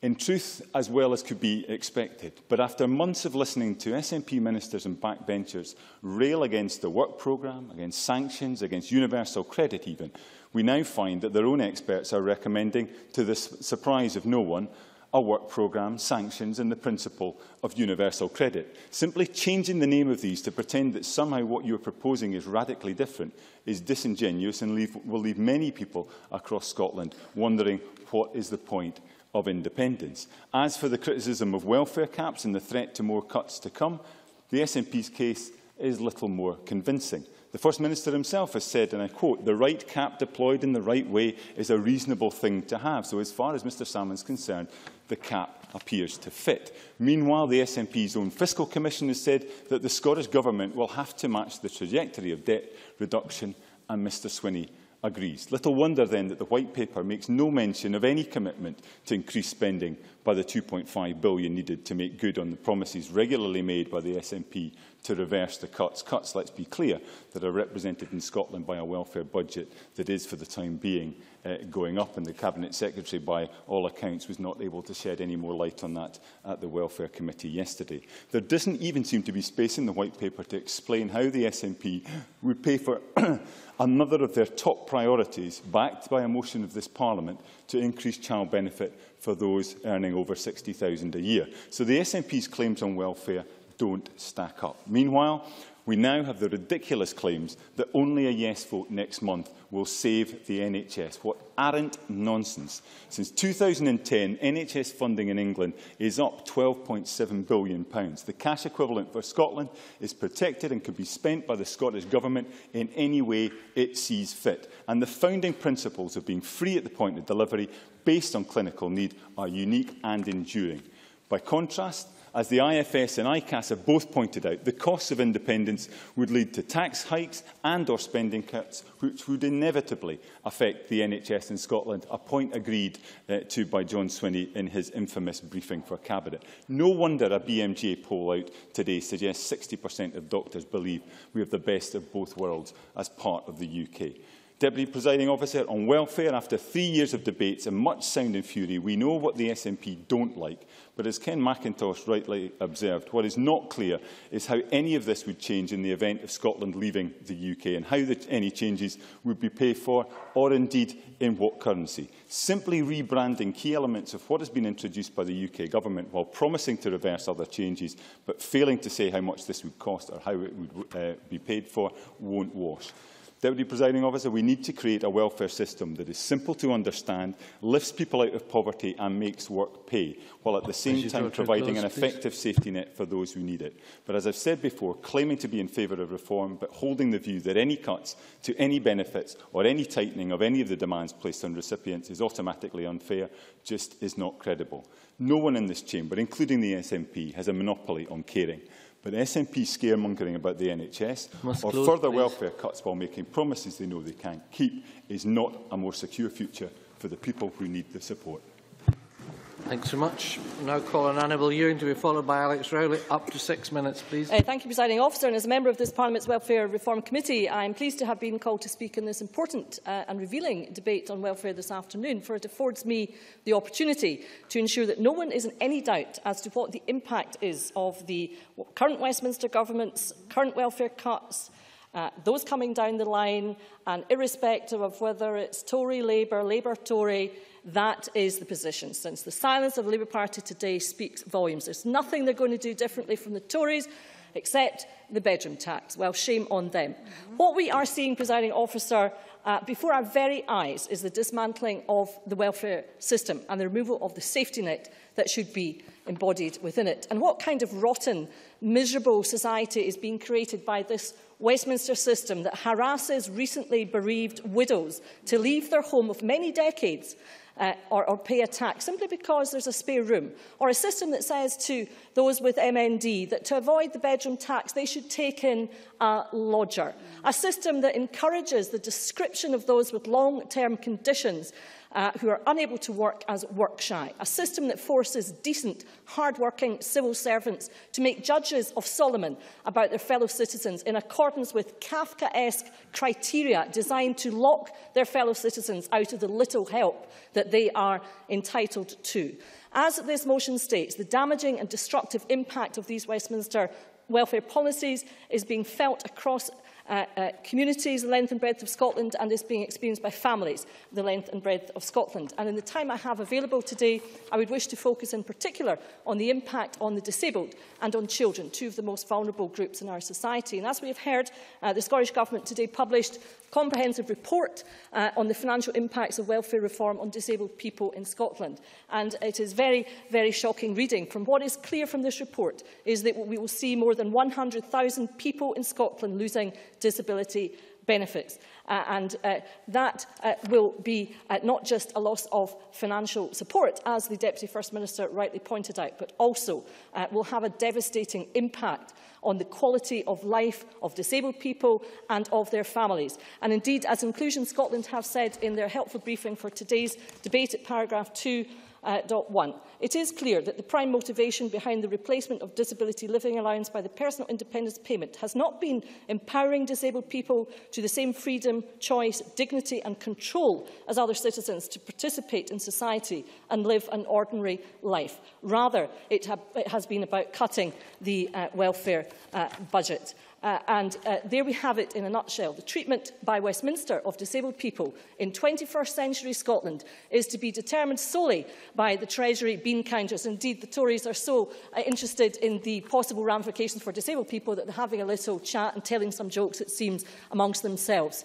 Uh, this is an important debate, and I'm sure, I'm sure that uh, people across Scotland will have noted the lack of interest of the Tories uh, in the uh, interests of disabled people. Uh, it should be, of course, recalled that when the the Welfare uh, Reform Act was going through the legislative process, the Tory Liberal uh, Democrat, oh, he's gone to Liberal Democrat government, uh, made it very clear, made it very clear, made it, no, I'm sorry, uh, Ms Baillie set the tone for taking interventions in this debate.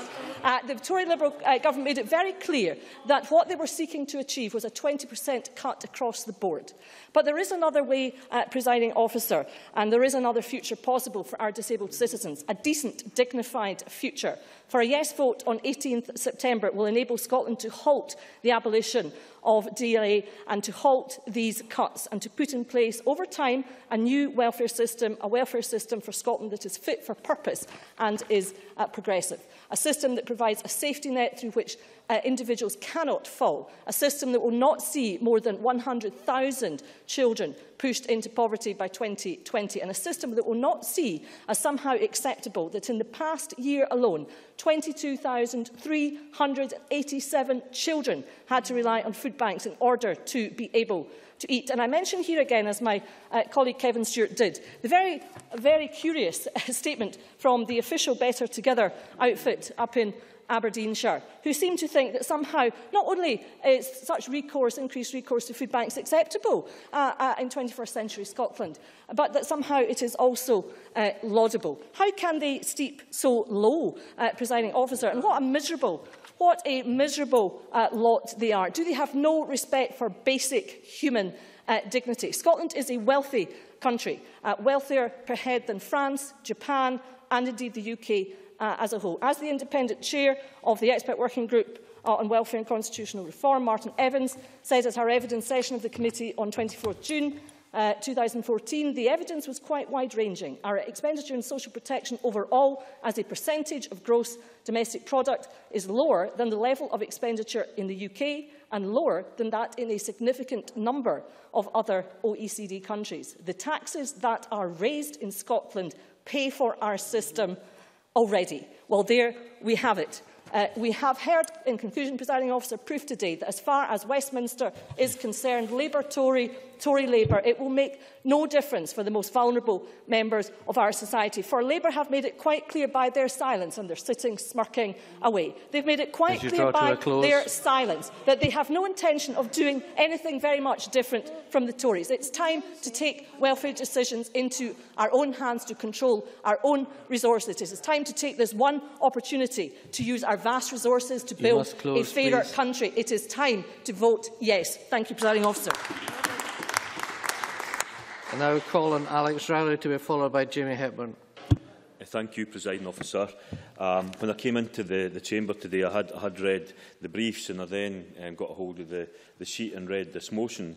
And I have to say that, that the motion isn't about trying to build some kind of unity in terms of a way forward, in terms of welfare in Scotland. This, this, this motion put forward by Nicola Sturgeon is simply um, an attempt to try and win some yes votes as we move towards the referendum. Um, and I see that Nicola Sturgeon has, has, has rejoined us, but I would have to say that, that our policy seems to be where there is harmony, then uh, we will create discord, we will create division, and we will try and win votes uh, from that as, as, as, as we move forward. When I think of the, the welfare state, um, I tend to think of beverage that, that Too liberal... Too many William, private conversations. William, Can we have Mr William Rowley, beverage, please? Um, and, and, and you know, his, his, his attempt or, or, or the paper that he brought forward at that time to tackle want, idleness, ignorance, disease and squalor, the, the five great evils, as, as he called them at that time. Um, and I'm sure, um, I would say to Liam McArthur that I'm sure that, that today William Beveridge would turn on his grave if he sees what these reforms are actually doing in terms of the way that they're impacting on people, not just in Scotland but across, across the UK.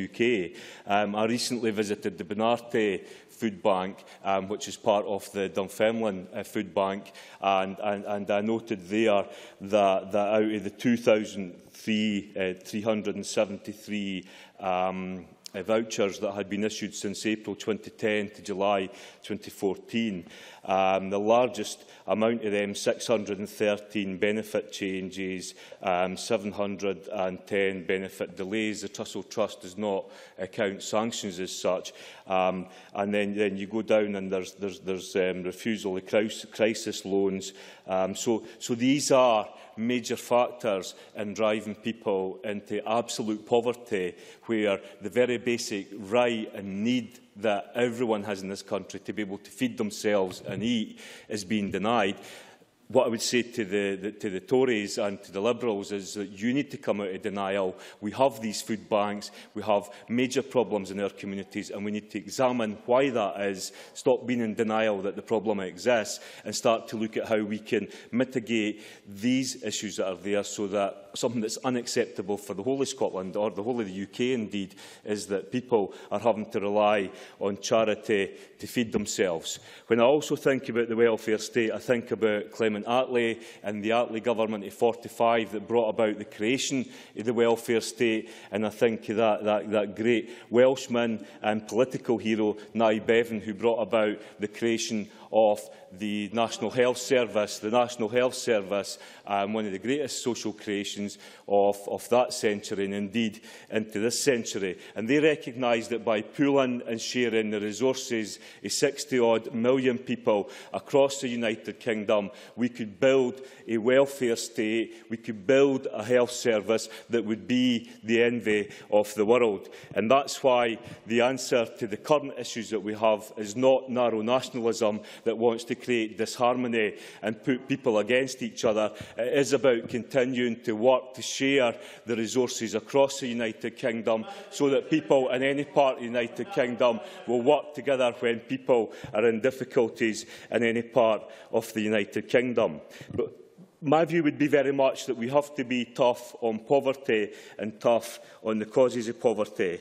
If we look at being tough on poverty itself, and I think the Oxfam briefing that was sent out earlier highlights Clydebank Independent Resource Centre, where they supported clients to claim over £3.5 million in 2013-14 um, in monies that was not being claimed. And my criticism, in a sense, uh, one of the areas of the Scottish Government is that they are not working with um, local authorities, working with organisations across Scotland so that we can be tough on poverty. I saw Nicola Sturgeon on the television the other night and I thought she was announcing a new half million pounds for food banks. I discovered the following day that it was the same half million that had been announced previously. It was just saying how the money was to be spent. And I know that, that, that I think £10,000 of that money was coming to Fife. But we need to work with the local authorities and work at the local level to ensure that we're maximising how we actually are tough on poverty. In terms of some of the policies, and I would have to say again, the SNP government have a terrible record over the last seven years in terms of trying to tackle inequality. I will pitch the Labour government record either in the UK or Members in Scotland against, against that record any time and any place. In Scotland, 200,000 children lifted out of poverty, half in pensioner poverty. These are all achievements under a Labour government. If we look at the SNP record in tackling inequality, they should indeed certainly have nothing to be proud of. But in terms of being tough on the causes of poverty, and they've even close. less to be proud of. If we look at the cuts in colleges, we need to look at full employment. I have said time and time again that throughout the history of the Labour movement, the Jarrow marchers, the UC working, the Upper Shite Clyde ship workers, none of these people marched for benefits. They marched for jobs. And their objective should be full employment, giving people the opportunities, being more ambitious please. for young people in a life on benefits, getting them the training, the skills and the jobs so that they can have a prosperous future. Again, the SNP Riley, have failed close, and failed please. drastically. Thank you. Now calling Jamie Hepburn to be followed by Alison Johnstone. Thank you very much, President. Let me say to I'm very proud of uh, this Scottish Government's uh, efforts to tackle and mitigate the effects of the bedroom tax by funnelling additional monies. I'm very proud of this Scottish Government's efforts to uh, make up the shortfall that was handed by, uh, down by the UK Government in terms of council tax benefit. And I'm very proud of the additional money that was funnelled into the Scottish Welfare Fund. These are things that are happening here and now that we can be uh, proud of. Can I thank uh, the Scottish Government for bringing uh, forward today's uh, debate? I think it's important uh, to go back uh, to first uh, principles. I think inherent within the uh, Labour amendment uh, today. And uh, Jackie Bailey's uh, eh, contribution is the uh, idea that Scotland is somehow a basket case and can't afford to provide for a decent and fair uh, social security system. Her contribution uh, today was matched by her line of question at yesterday's uh, Welfare Reform Committee. No welcome for the Scottish Government's commitment to abolish the bedroom tax. No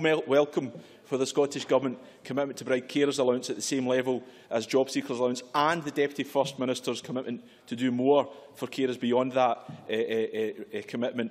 Uh, no welcome to replace the work cap uh, capability assessment with a fairer uh, uh, system. President Officer, the affordability of our social security system is undeniably important, but so also is ambition, so also is vision so also is a determination to do better. And I didn't get that sense of drive from Ms Bailey's uh, contribution today. And we know uh, that in 2012-13, 42.3% of Scottish tax revenues were spent on welfare and pensions, social protection, compared with 43% for the UK uh, as a whole. And we know that spending on social protection as a share of GDP has been lower in Scotland than the UK in each of the past five years. So we know that Scotland can afford a better system, a point made by the independent expert group on welfare. Can I turn to the report the Scottish Government published today on the impact of welfare reform on disabled people? Can I say I think the findings of that report tally uh, largely with the report uh, that, uh, uh, that Sheffield Hallam University prepared for the Welfare Reform Committee.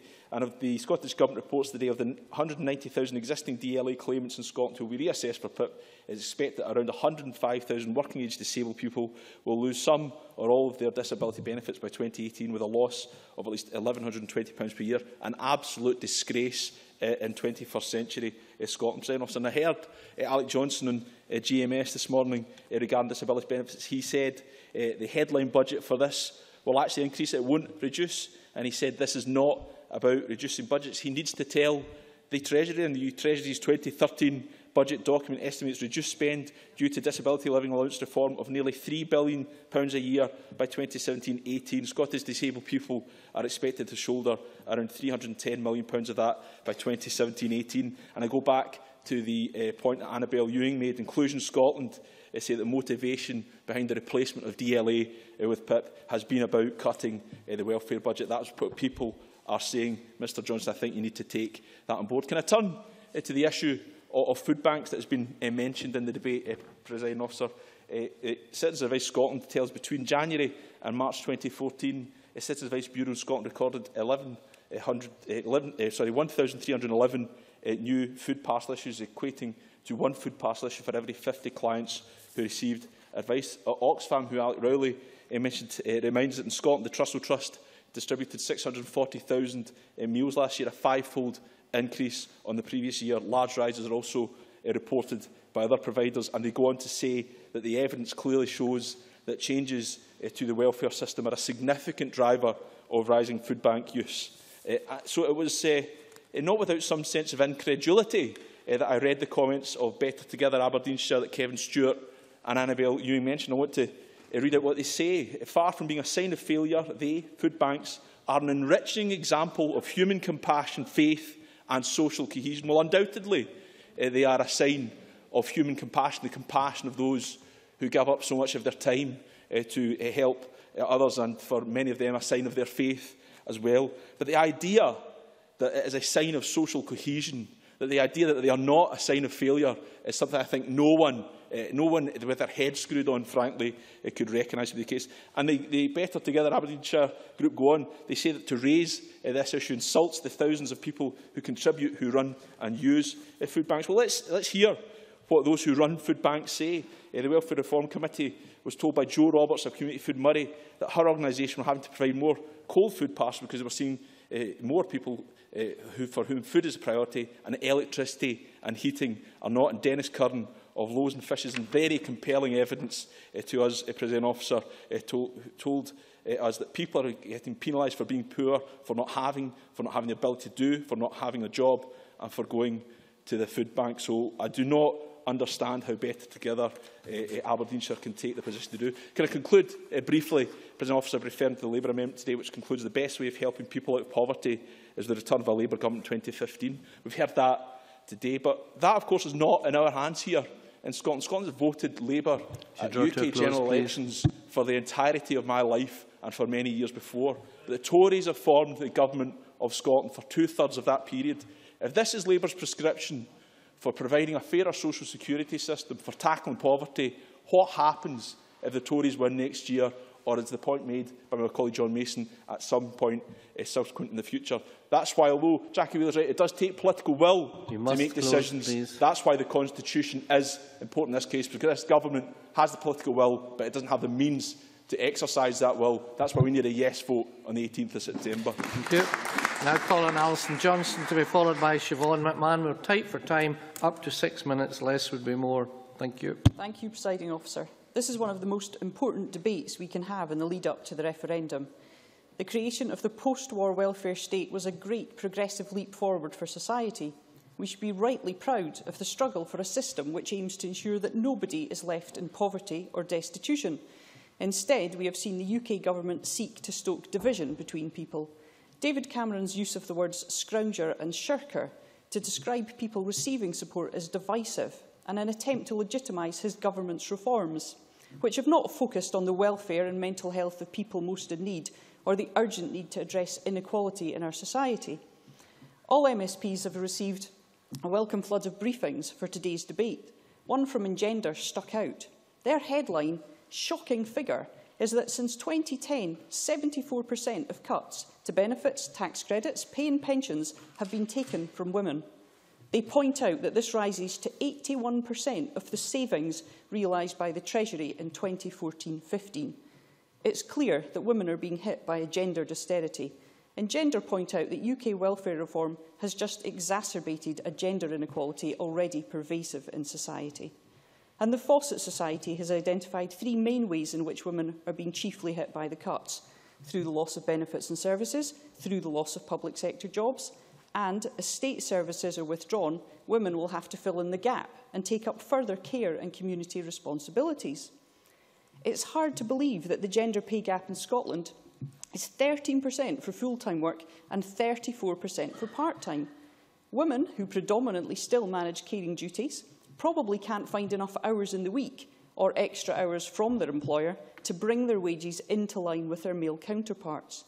Employment law is still reserved to Westminster. Why has such little progress been made? On average, women do 4 hours and 15 minutes of unpaid work a day, compared to men's 2 hours and 18 minutes. Some 40% of women in employment rely on relatives for childcare, a majority of them are female, and one in four women in their 50s is caring for a disabled or frail elderly relative. The UK Government is keen to see the pension age lifted rapidly, and if women who do not choose to are required to continue working, who's going to take on these caring roles?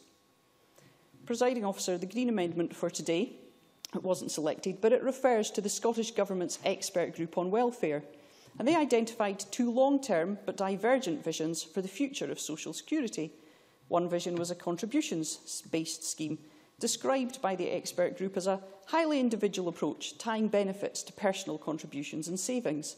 This approach requires the complexity of means testing and constant assessment to ensure that nobody gets more than they need. The other vision was a universal one, which abandons means testing and complexity and provides a citizen's basic income to everyone. Professor Ailsa Mackay was a member of the expert group a feminist economist and a lifelong advocate of this universal approach. She sadly passed away before the publication of the report and is greatly missed by her family and friends. But I have no doubt at all that her contribution to this welfare debate will continue. Glasgow University are advertising to fill the newly created Ailsa Mackay Postdoctoral Research Fellowship in Economics to further research the relationship between a citizen's income and gender equality. A citizen's income is at the foundation of the Green Vision for Social Security, and this week the Green Yes campaign has published a new paper demonstrating how a citizen's income could work and be paid for in Scotland. And I thank John Mason for his open-minded comments regarding a citizen's income and a certain level of unconditionality. Now, it's not a perfect proposal, but it's designed to demonstrate how Scotland can begin on its journey towards rebuilding a fair welfare system with universality at its core. And the modelling we've done with David Comerford from Stirling University demonstrates how Scotland could join the ranks of the most equal countries in the world. Under the Citizens' Income proposal, 70% of the lowest earning households would be better off, with the highest earning households losing only 11% of their income. Citizens' income is a simple idea that could reduce inequality, promote solidarity and allow each of us to make our own decisions about working, caring, learning and creating without ending up on the breadline. But while we consider a citizen's income, we can currently crack down on corporate and rich individual tax dodging. We can call for an end to the inhumane sanctions regime that has led to hundreds of thousands of people relying on food banks or applying in desperation for a hardship or crisis loan. Food banks must not become the norm. People should have the dignity of buying their food. And I agree with Oxfam when they say that the huge, rank, the huge rise of food banks suggests that the principle of the social safety net is under threat, and we must do all that we can to protect it. In closing, presiding officer, I would ask Alex Johnstone, you state in your motion that the UK government seeks to work to make work pay. Well, if work pays, why are there now, as the Oxfam briefing points out, more people in poverty living in working households than in out-of-work households? And Jackie Baillie, I agree that eradicating poverty requires political will. However, the current constitutional arrangement means that policies increasing poverty in Scotland can be forced upon us by those whose politics aren't focused on the eradication of poverty and those who we didn't vote into government in Scotland. Thank Thanks you. very much. Now call on Siobhan McMahon. Up to six minutes, please. Thank you, Deputy Presiding Officer. I spoke in nearly all of the welfare debates this Parliament has held since my election in 2011. It's a subject that is very close to my heart and one that I'm extremely passionate about. It's also a subject that is far from easy. We all have a different idea of what the welfare state's purpose should be. That will be born out of political ideology in many cases, but also shaped by our own experiences of the system. Did it work when we needed it to, or did it fail us in our time of need? For too many people across the UK today, the answer will be that the system has failed them. For too many people, the answer will be that it added to the burden they were already experiencing and has done very little to alleviate the financial strain they now find themselves trying to deal with day in and day out. As the schools across Scotland start back this week, there will be many parents thankful and relieved that they don't have to find the money to send their children to the cinema or swimming or to the local funfair in order to be just like their friends and have a good time during their summer holidays. But there will be other parents who are still worrying about how they are going to pay back the debt they're now in as a result of paying for their children's school uniform, the new school shoes, the school bag, pencil case and everything needed to go into the pencil case and everything else in between. However, that example is something that we in this Parliament should be doing something about, not in other parliaments. We could and should be taking the opportunity today to talk about the things that we have the power of control over and how we can change people's lives. We could be talking about the one in eight people who are carers across Scotland and need our help now. We could be talking about the problems many of our disabled constituents have with transition services, or we could be talking about the lack of employment opportunities, especially for females and young people. Instead, we are debating what an independent Scotland's welfare system might look like. That in itself would be okay if the Scottish Government actually had a vision of the welfare state they would wish to see. But as we know, we get a list of things presented to us that they don't like about the current welfare state and so-called reforms, and things that they wouldn't do, like the work capability assessments or sanctions, but we get little or no information as to what would replace such things. In our briefings for today's debate, the start figure of 60,000 people in Scotland being sanctioned between October 2012 and December 2013 stands out. It is a horrific number and not something that can be easily explained away. That is 60,000 individuals, but also their families and dependents. That is an atrocious figure and a figure that the UK Government should be ashamed of. As I have previously stated, I understand that the Scottish Government would not impose sanctions on disabled people who have been found fit for work. I welcome this, however. I am unclear as to what would take its place. In their own words, the Scottish Government stated that sanctions would be replaced with a system that is more proportionate, personal and positive. That is as clear as mud. The Scottish Government have also said they will abolish work capability assessments. Again, We don't know what would take their place. The Scottish Government's own expert group has made clear that assessment for incapacity benefits is necessary, but the SNP will not formulate any alternative to work capability assessment before the referendum. In contrast, the Labour Party asked a group of people for ideas on how to make things easier for people with disabilities.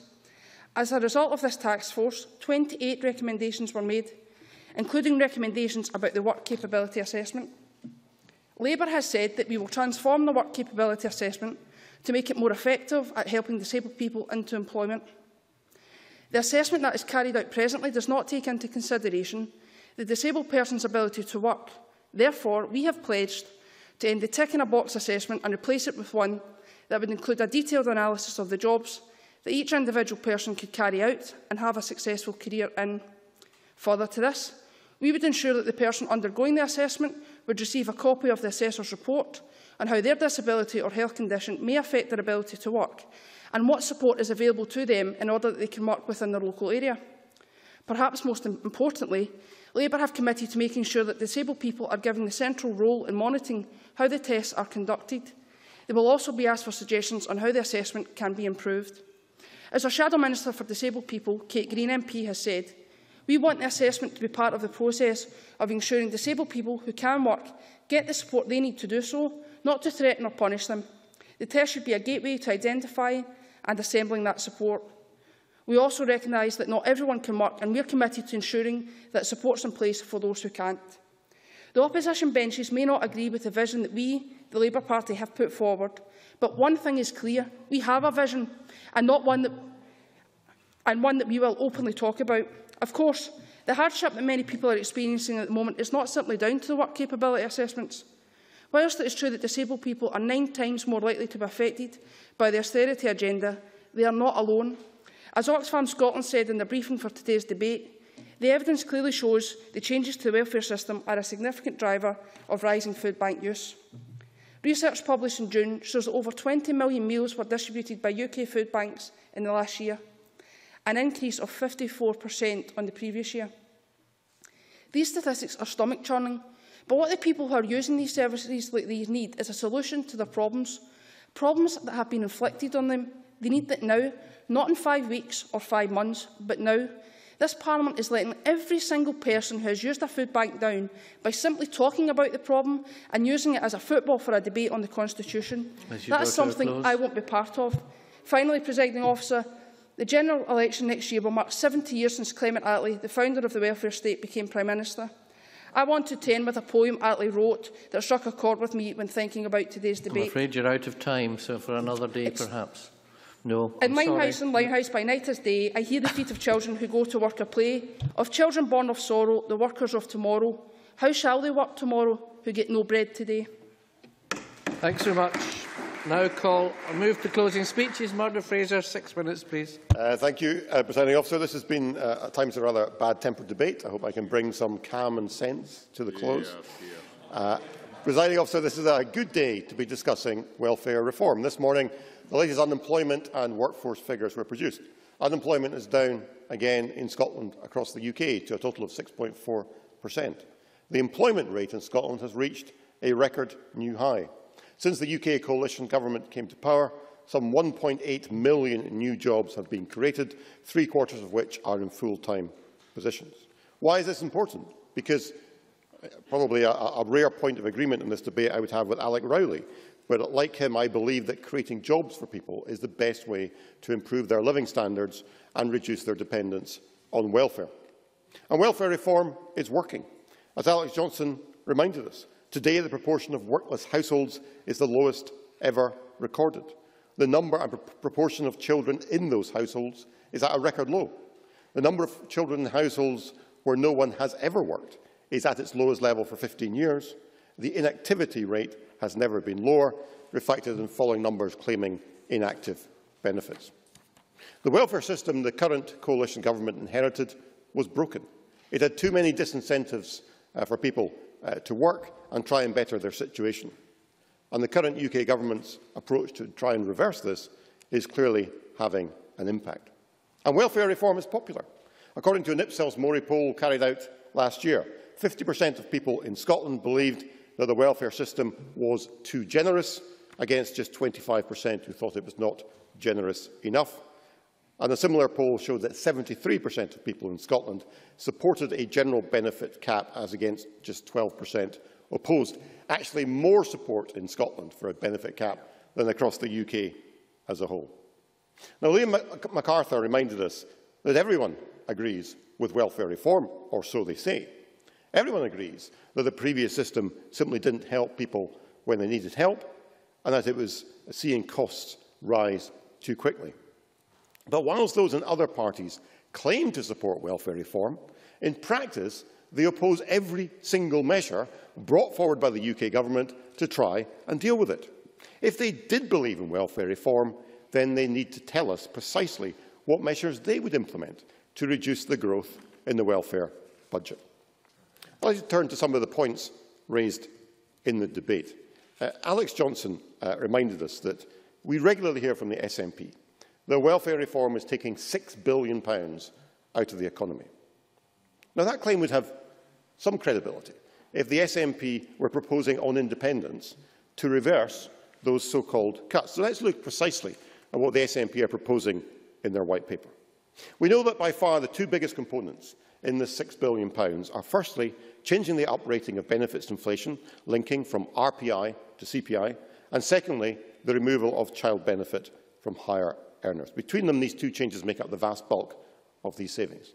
And what is in the white paper about reversing these changes? Nothing I could see. The white paper does say benefits will rise with inflation. Is this CPI? Is it RPI? We can only assume it's CPI. If I'm wrong, no doubt I'll stand corrected in the Minister's wind-up. The only detailed proposals in the white paper on welfare are to remove the spare room subsidy, which we know has already been mitigated by the actions of this devolved Parliament, and to stop the rollout of universal credit and personal independence payments. The best that can be said about these changes is that the costs of these are marginal in the context of the total savings from welfare reform. So the whole proposition being put forward in this debate by the SNP that voting independence will make a huge difference when it comes to welfare. And in the words of the government motion, and I quote, only with the full powers of independence can the UK government welfare cuts be halted, is shown to be utterly worthless, because the bulk of those reductions are not being reversed under the proposals from the SNP. And what would the welfare system under independent Scotland be? We don't know. How much would it cost? We don't know. Would taxes have to rise to pay for higher benefits? We don't know. And as Jackie Baillie reminded us, we don't even know which currency these benefits would be paid in. The SNP are using welfare policy to try and argue the case for independence, but without any detail on the, their alternatives, the claims they are making are simply dishonest. Yesterday at the Welfare Reform Committee, Nicola Sturgeon, I understand, said that she foresaw no net increase in welfare costs in independent Scotland beyond the proposals already announced. Today, sorry, that, the, the, from a sedentary position, the Cabinet Secretary has corrected me. She says that's what the Welfare Review Group recommended. Well, I'd be interested to know what the SNP are recommending, because we've heard nothing in this debate about their proposals. She comes to this chamber this afternoon and seems to suggest otherwise. All the rhetoric is about reversing all the cuts from Westminster. That's not what she said yesterday, and that's not what a review group had to say. Was in his last minute. Members in his last minute, I'm sorry. I'd have been happy to give way, but perhaps in the wind-up your colleague can address these very points. Presiding officer, we know from the work done by, by the Institute for Fiscal Studies that an independent Scotland would face greater fiscal challenges than if we stayed in the UK. There is no magic money tree. There will not be more money to spend on benefits if we become independent. In fact, there will be less. And what the SNP are trying to do is quite cynically play on the fears of those in poverty or the disabled by promising that independence will mean they have more money and greater security. And yet they cannot produce any concrete policies to back up these proposals. It is a deeply cynical and disgraceful tactic of which SNP members should be ashamed. Yeah. Thank you very much. I now call on Michael McMahon. Up to seven minutes, please. Thank you, Deputy Presiding Officer. I welcomed the prospect of this afternoon's debate on welfare when I learned that it had been scheduled, because it's absolutely right that the people of Scotland should hear from the Scottish Government how it plans to introduce its robust, effective, reliable and affordable welfare system in an independent Scotland. What a pity, then, that for far too much of the time this afternoon, all we've heard is that the SNP don't like Westminster, they don't like the current system of welfare in the UK, but we've heard virtually nothing about what change there would be if Scotland votes yes on September the 18th. I'd like to make some progress, if you don't mind, first that when we should have had real answers over how our welfare system would continue if we separated, what we've got is an aspirational wish list of vague promises of a fairer system with no price tag attached. Now, there is nothing wrong with being aspirational for your country and its people. We all are. But it's all very well criticising the current welfare system without providing answers on the detail of what they would seek to replace it with. We've been repeatedly promised such information, but it's never materialised. And unless the Minister reveals the SNP's blueprint to us in her closing speech, the SNP looks as though it's going to continue to ask the people of Scotland to vote in the referendum on a prospectus that sees a welfare-shaped black hole at its core. Nicola Sturgeon. What I'm saying now, I've said it before and I'll say it again, is that we're saying that if we get the powers, we will not proceed with a £300 million cut in support for disabled people. Can Michael McMahon answer me the question, Will a Labour government at Westminster proceed with those cuts or not? It's a simple question. Can we have a straight answer? Michael McMahon. I'm quite sure the, the Cabinet Secretary would like to boil everything down to a straight yes or no answer, but the fact of the, but the, fact of the matter is you are, you, are, you are premising all your questions. You are premising all your questions on a vote five weeks from now. The Labour Party is looking at promoting the welfare system at the general election in 2015, and we will get, we will get the answers at that time when we have won. When we, have won this when we have won this referendum, you'll get more answers than we'll get Order. from you, and that's a fact. So I welcome the report of the expert working group, but that body was never going to produce the detailed answers we need because it was never given the remit from the Scottish Government to do so. The expert group identified that there are difficulties in designing entirely new schemes and that the timescales involved in ensuring that they operate effectively will mean that any changes are unlikely to be in place by 2016. Indeed, the expert group's first report suggested that Scotland should share its system with the UK for a transitional period which would last for at least five years. And that was before we got the complication of not knowing what the currency would be that we would use while we shared that system. So the Scottish Government subsequently announced that it wished to make priority changes to social security immediately following separation. But it's not yet set out how it would be able to consult, legislate and then design and build and test a new system within 18 months. So what we have is a recommendation for a national convention on welfare to be formed in 2015 to discuss the details of benefits proposals which they say we have to vote on in five weeks' time. So that means that the detail will not be known un until after the referendum. So over half of Scots receive social security payments in some form, but the SNP will not tell us how much it will cost to set up a new welfare system when independent forecasters like the IFS are showing that we're projected to have a worse fiscal position than the UK as a whole in the years ahead. So rather than this afternoon's debate clarifying for the Scottish people what they can expect from the welfare system in independent Scotland, the only welfare guarantee we have from the SNP is uncertainty. And as the debate wore on, it appeared, as Jamie Hepburn and others uh, referred, to this Better Together Aberdeen Facebook. Now, Pay all deference to my colleague Lewis MacDonald, but the people of Aberdeen are very often beyond uh, my comprehension. But, but I, I do not understand why the SNP members repeatedly went on about this Facebook. It looks as though it might well be the new issue, rather than pandas, aliens and what side of the road we're going to drive on when it comes to the next television debate. Well done. So, no, I'm certainly not going to give way to you after your disgraceful contribution. But we did see some agreement in this afternoon's debate on sanctions, on the bedroom tax, on food banks. Kevin Stewart, John Mason, Ken Macintosh, others we, we found common cause. The Cabinet Secretary and Siobhan McMahon clearly uh, passionately believe in issues around uh, disability, and that's quite right, because when Inclusion Scotland make absolutely clear that the current programme of welfare reform is having a devastating and disproportionate impact on disabled people in Scotland, we have to take cognizance of that. But John Mason asked, and I think this was very important, he said he made a very reasonable request that we should work together And he asked why, when we had such agreement, that we could not work with them. Miss Sturgeon, on the other hand, claimed that Labour didn't care about Scotland's poor.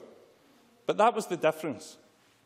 We focus more on need and not nationality. And that's what divides us and what you cannot understand about this debate. So the SNP's plans for post-independence welfare are paper thin And even their own expert group on welfare has said that there would be a serious risk of disruption to benefit payments if we were to leave the UK benefit system. And again, they made that report before we had the issue of the, the currency union and its uh, inability to operate. So where the SNP has made pledges, they have not brought forward proposals for what the system would be changed to. So we've come along this afternoon to look for answers on what we'd be voting on in September, but we're left with no conclusion other than that the only safe choice on welfare is a vote to remain part of the British welfare state that I am proud to say Labour created and that we will always be the best to defend. Thanks so much. And we now call on the Minister, Margaret Burgess, to wind up the debate. You have until five o'clock, please. Okay, thank you, Presiding Officer. Uh, and like others, I don't think this has been the best uh, debate in terms of um, temperament that we heard through it, but there's something that was just said there at the end of the debate that I absolutely agree with, and that is that we're absolutely miles apart from the Labour Party and the Better Together uh, pals of how we can address the issue of social security, in particular in an independent Scotland. And the first thing I would want to say, at the very start of this debate, the Deputy First Minister asked two questions to Jackie Baillie about Labour's position. She asked, what new powers is this Parliament guaranteed if we um, short of a yes vote? And that would allow us to stop the assault on the incomes of disabled women and children. She was also asked would the Labour Party um, halt the rollout of personal independence payment? And we didn't get an answer to that. There is no answer, and nobody in the Labour benches answered that question.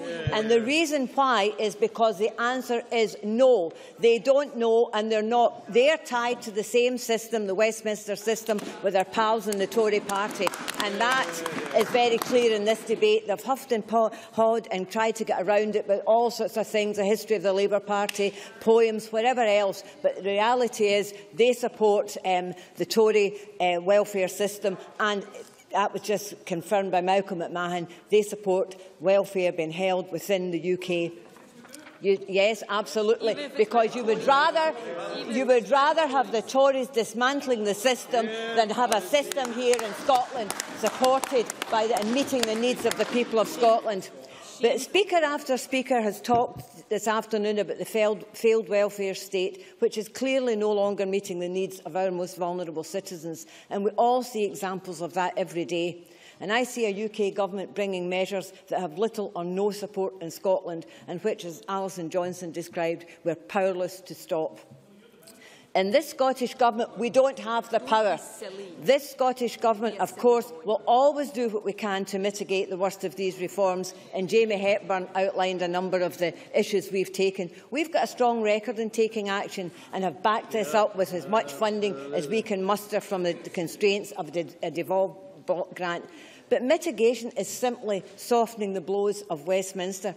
Well, that's not enough for me, and our people deserve more than that. This government, the Scottish Government ambition for Scotland is much, much higher. We have an ambition for Scotland. Presiding officer, this government has set out a clear vision of welfare and an independent Scotland. We'll halt the rollout of the discredited universal credit. We'll replace personal independence payments with a benefit that ensures that people with a disability are treated with dignity and respect. We'll abolish the bedroom tax, we'll increase carers allowance and we'll increase benefits and, and minimum wage in line with inflation. Because as the first, Deputy First Minister said in her opening remarks, Scotland is a wealthy country.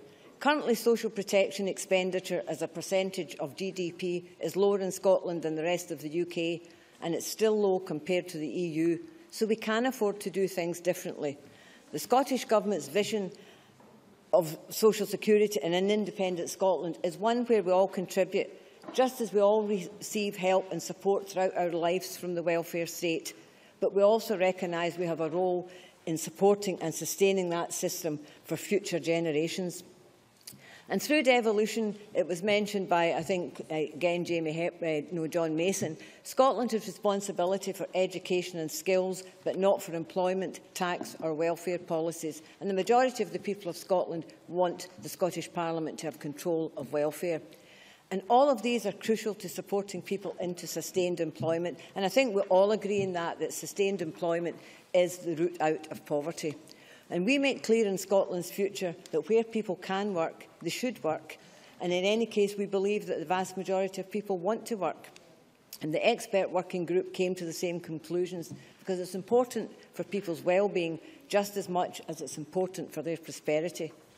We also heard today about the increase of in-work poverty, that the equation of work uh, as a route out of poverty is not always true. And that's why we support measures like the Scottish Government's social wage and the living wage, which will make a real difference to the people of Scotland. It's why we're leading by example in ensuring that all the staff covered by the public sector pay policy are paid the Scottish living wage. And for those, for whatever reason, who can't work, they should be helped to lead rich, fulfilling lives. Our call that dignity and respect must be maintained is in direct contrast to the UK Government and now clearly to the Labour Party. Their approach, shown through measures such as the current sanctions policy, does little for people's self-respect and self-esteem. And these policies do little to provide people with the support they need. And Scottish Government research has shown that the most disadvantaged are particularly vulnerable to being sanctioned. I'll take an intervention. Michael McMahon to recognise that the research conducted on behalf of the Welfare Reform Committee showed that the same problems existed right across England, Wales and Northern Ireland. Why do you want to abandon them to that fate in order to just pursue your own issues in Scotland? Minister. ridiculous argument. This is a ridiculous argument. We recognise that the policies are not helping people across the UK, but we want to do something about it here in Scotland. And we have an opportunity to do that on the 18th of September. And we're going to... I mean, and raise your standards, raise your ambition. Um, yeah. We'll all go down together. No, let us lead by example and help the rest of the UK at the same time. Let's lead by example. What happened to the Labour Party? What happened to the Labour Party? I know. I, I've got. I, I have no idea what, what, where the Labour Party are coming from just now, and I think it is really or, or where they're going. I think, as the Deputy First Minister has just said, I think it's an absolute nonsense argument they're putting forward just now. And you know, the most worrying thing about this is that these cuts are still coming. There's more cuts still to come. We've heard today about 100,000 disabled people could lose up between £1,000 and £3,000 of a year uh, due to the change from DLA to PIP. Again, no response from the Labour Party in that. They're simply tied into the uh, Tory, with their Tory, uh, Tory allies in this one. No, we were asked, Jackie Baillie has been asked on several occasions, will the Labour Party reverse the PIP changes? And we have had no answer, and that's because the answer is no. Um, but we have to remember something, that Labour has actually signed up with our Tory Liberal pals to this. They have signed up to continued austerity. They have signed up to continuous austerity. They have signed up to universal credit. They've signed up to the UK welfare reforms that will put 100,000 more children into poverty and 100,000 more disabled people into poverty. Jackie Baillie is nodding, shaking her head and saying this is nonsense. You've had the opportunity today to tell the people of Scotland what Labour are going to do about this, and you have not told us. So, presiding officer, the issues around benefits and welfare reform for me crystallise the choice, the clear choice we have to make in September. And this is the choice between a future where some of the most important decisions about our country are made in Westminster by governments, whether it be Tory or Labour governments, that more often in Tory case are not elected in Scotland, yeah. or a future where the people of Scotland have the power to determine our own course and the responsibility for making the most of our extraordinary potential. And that is what independence is about. It's about making that choice for the benefit of the people of Scotland. It's about grasping that when we have an opportunity yeah. to make things better. We're all agreed it's not working, the welfare system. We're putting forward proposals to make it better, a real change yeah. for the people of Scotland, and Labour can't accept that. They'd rather stick with their Tory alliance. You need to so, wind up, Minister. I'm going to wind up. So we're looking, the only way to get a welfare social security system that's fair, treats people with dignity and respect, and meets the needs of the people of Scotland is to vote yes on the 18th of September. That concludes the debate on welfare. We now move to the next item of business, which is consideration of business motion 10779 in the name of Joe Fitzpatrick on behalf of the Parliamentary Bureau setting out a business programme. Any member who wishes to speak against the motion should press the request to speak button now. And I call on Joe Fitzpatrick to move motion number 10779. Moved. No members asked to speak against the motion, therefore I now put the question to the Chamber. The question is the motion number 10779 in the name of Joe Fitzpatrick be agreed to. Are we all agreed? The motion is therefore agreed to. The next item of business is consideration of a Parliamentary Bureau motion. I would ask Joe Fitzpatrick to move motion number 10780 on approval of an SSI. Moved. Question this motion will be put at decision time to which we now come. there are four questions to be put as a result of today's business. The first question is amendment number 10777.4 in the name of Jackie Bailey, which seeks to amend motion number 10777 in the name of Nicola Sturgeon on welfare be agreed to. Are we all agreed? The Parliament's not agreed. We move to vote. Members should cast their votes now.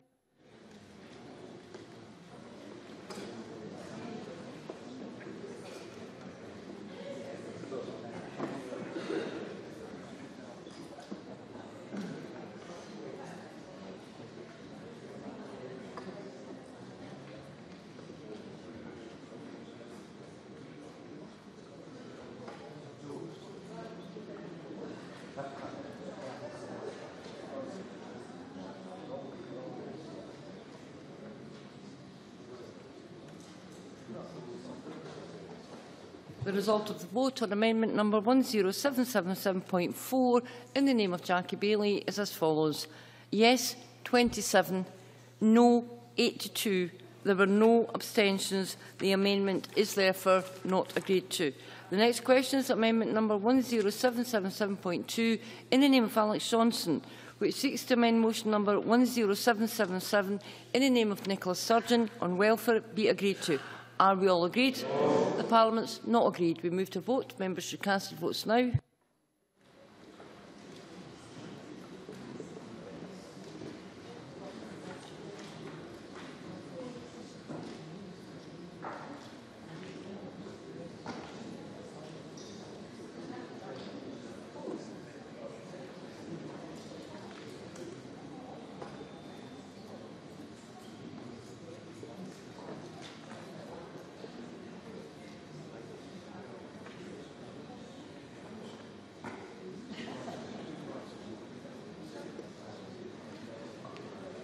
The result of the vote on amendment number 10777.2 in the name of Alex Johnstone is as follows.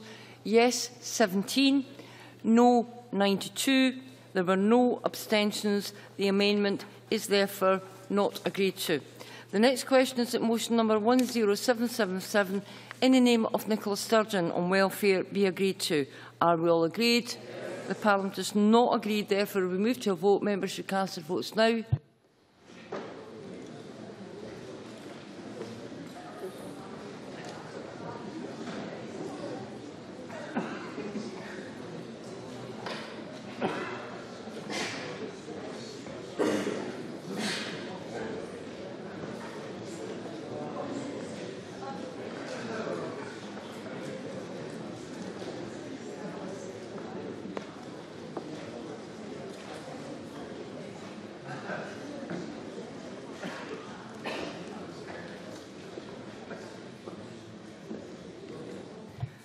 The result of the vote on motion number 10777 in the name of Nicola Sturgeon is as follows. Yes, 65. No, 44. There were no abstentions. The motion is therefore agreed to. The next question is that motion number 10780 in the name of Joe Fitzpatrick on approval of an SSI be agreed to. Are we all agreed? The motion is therefore agreed to. That concludes decision time. We now move to members' business.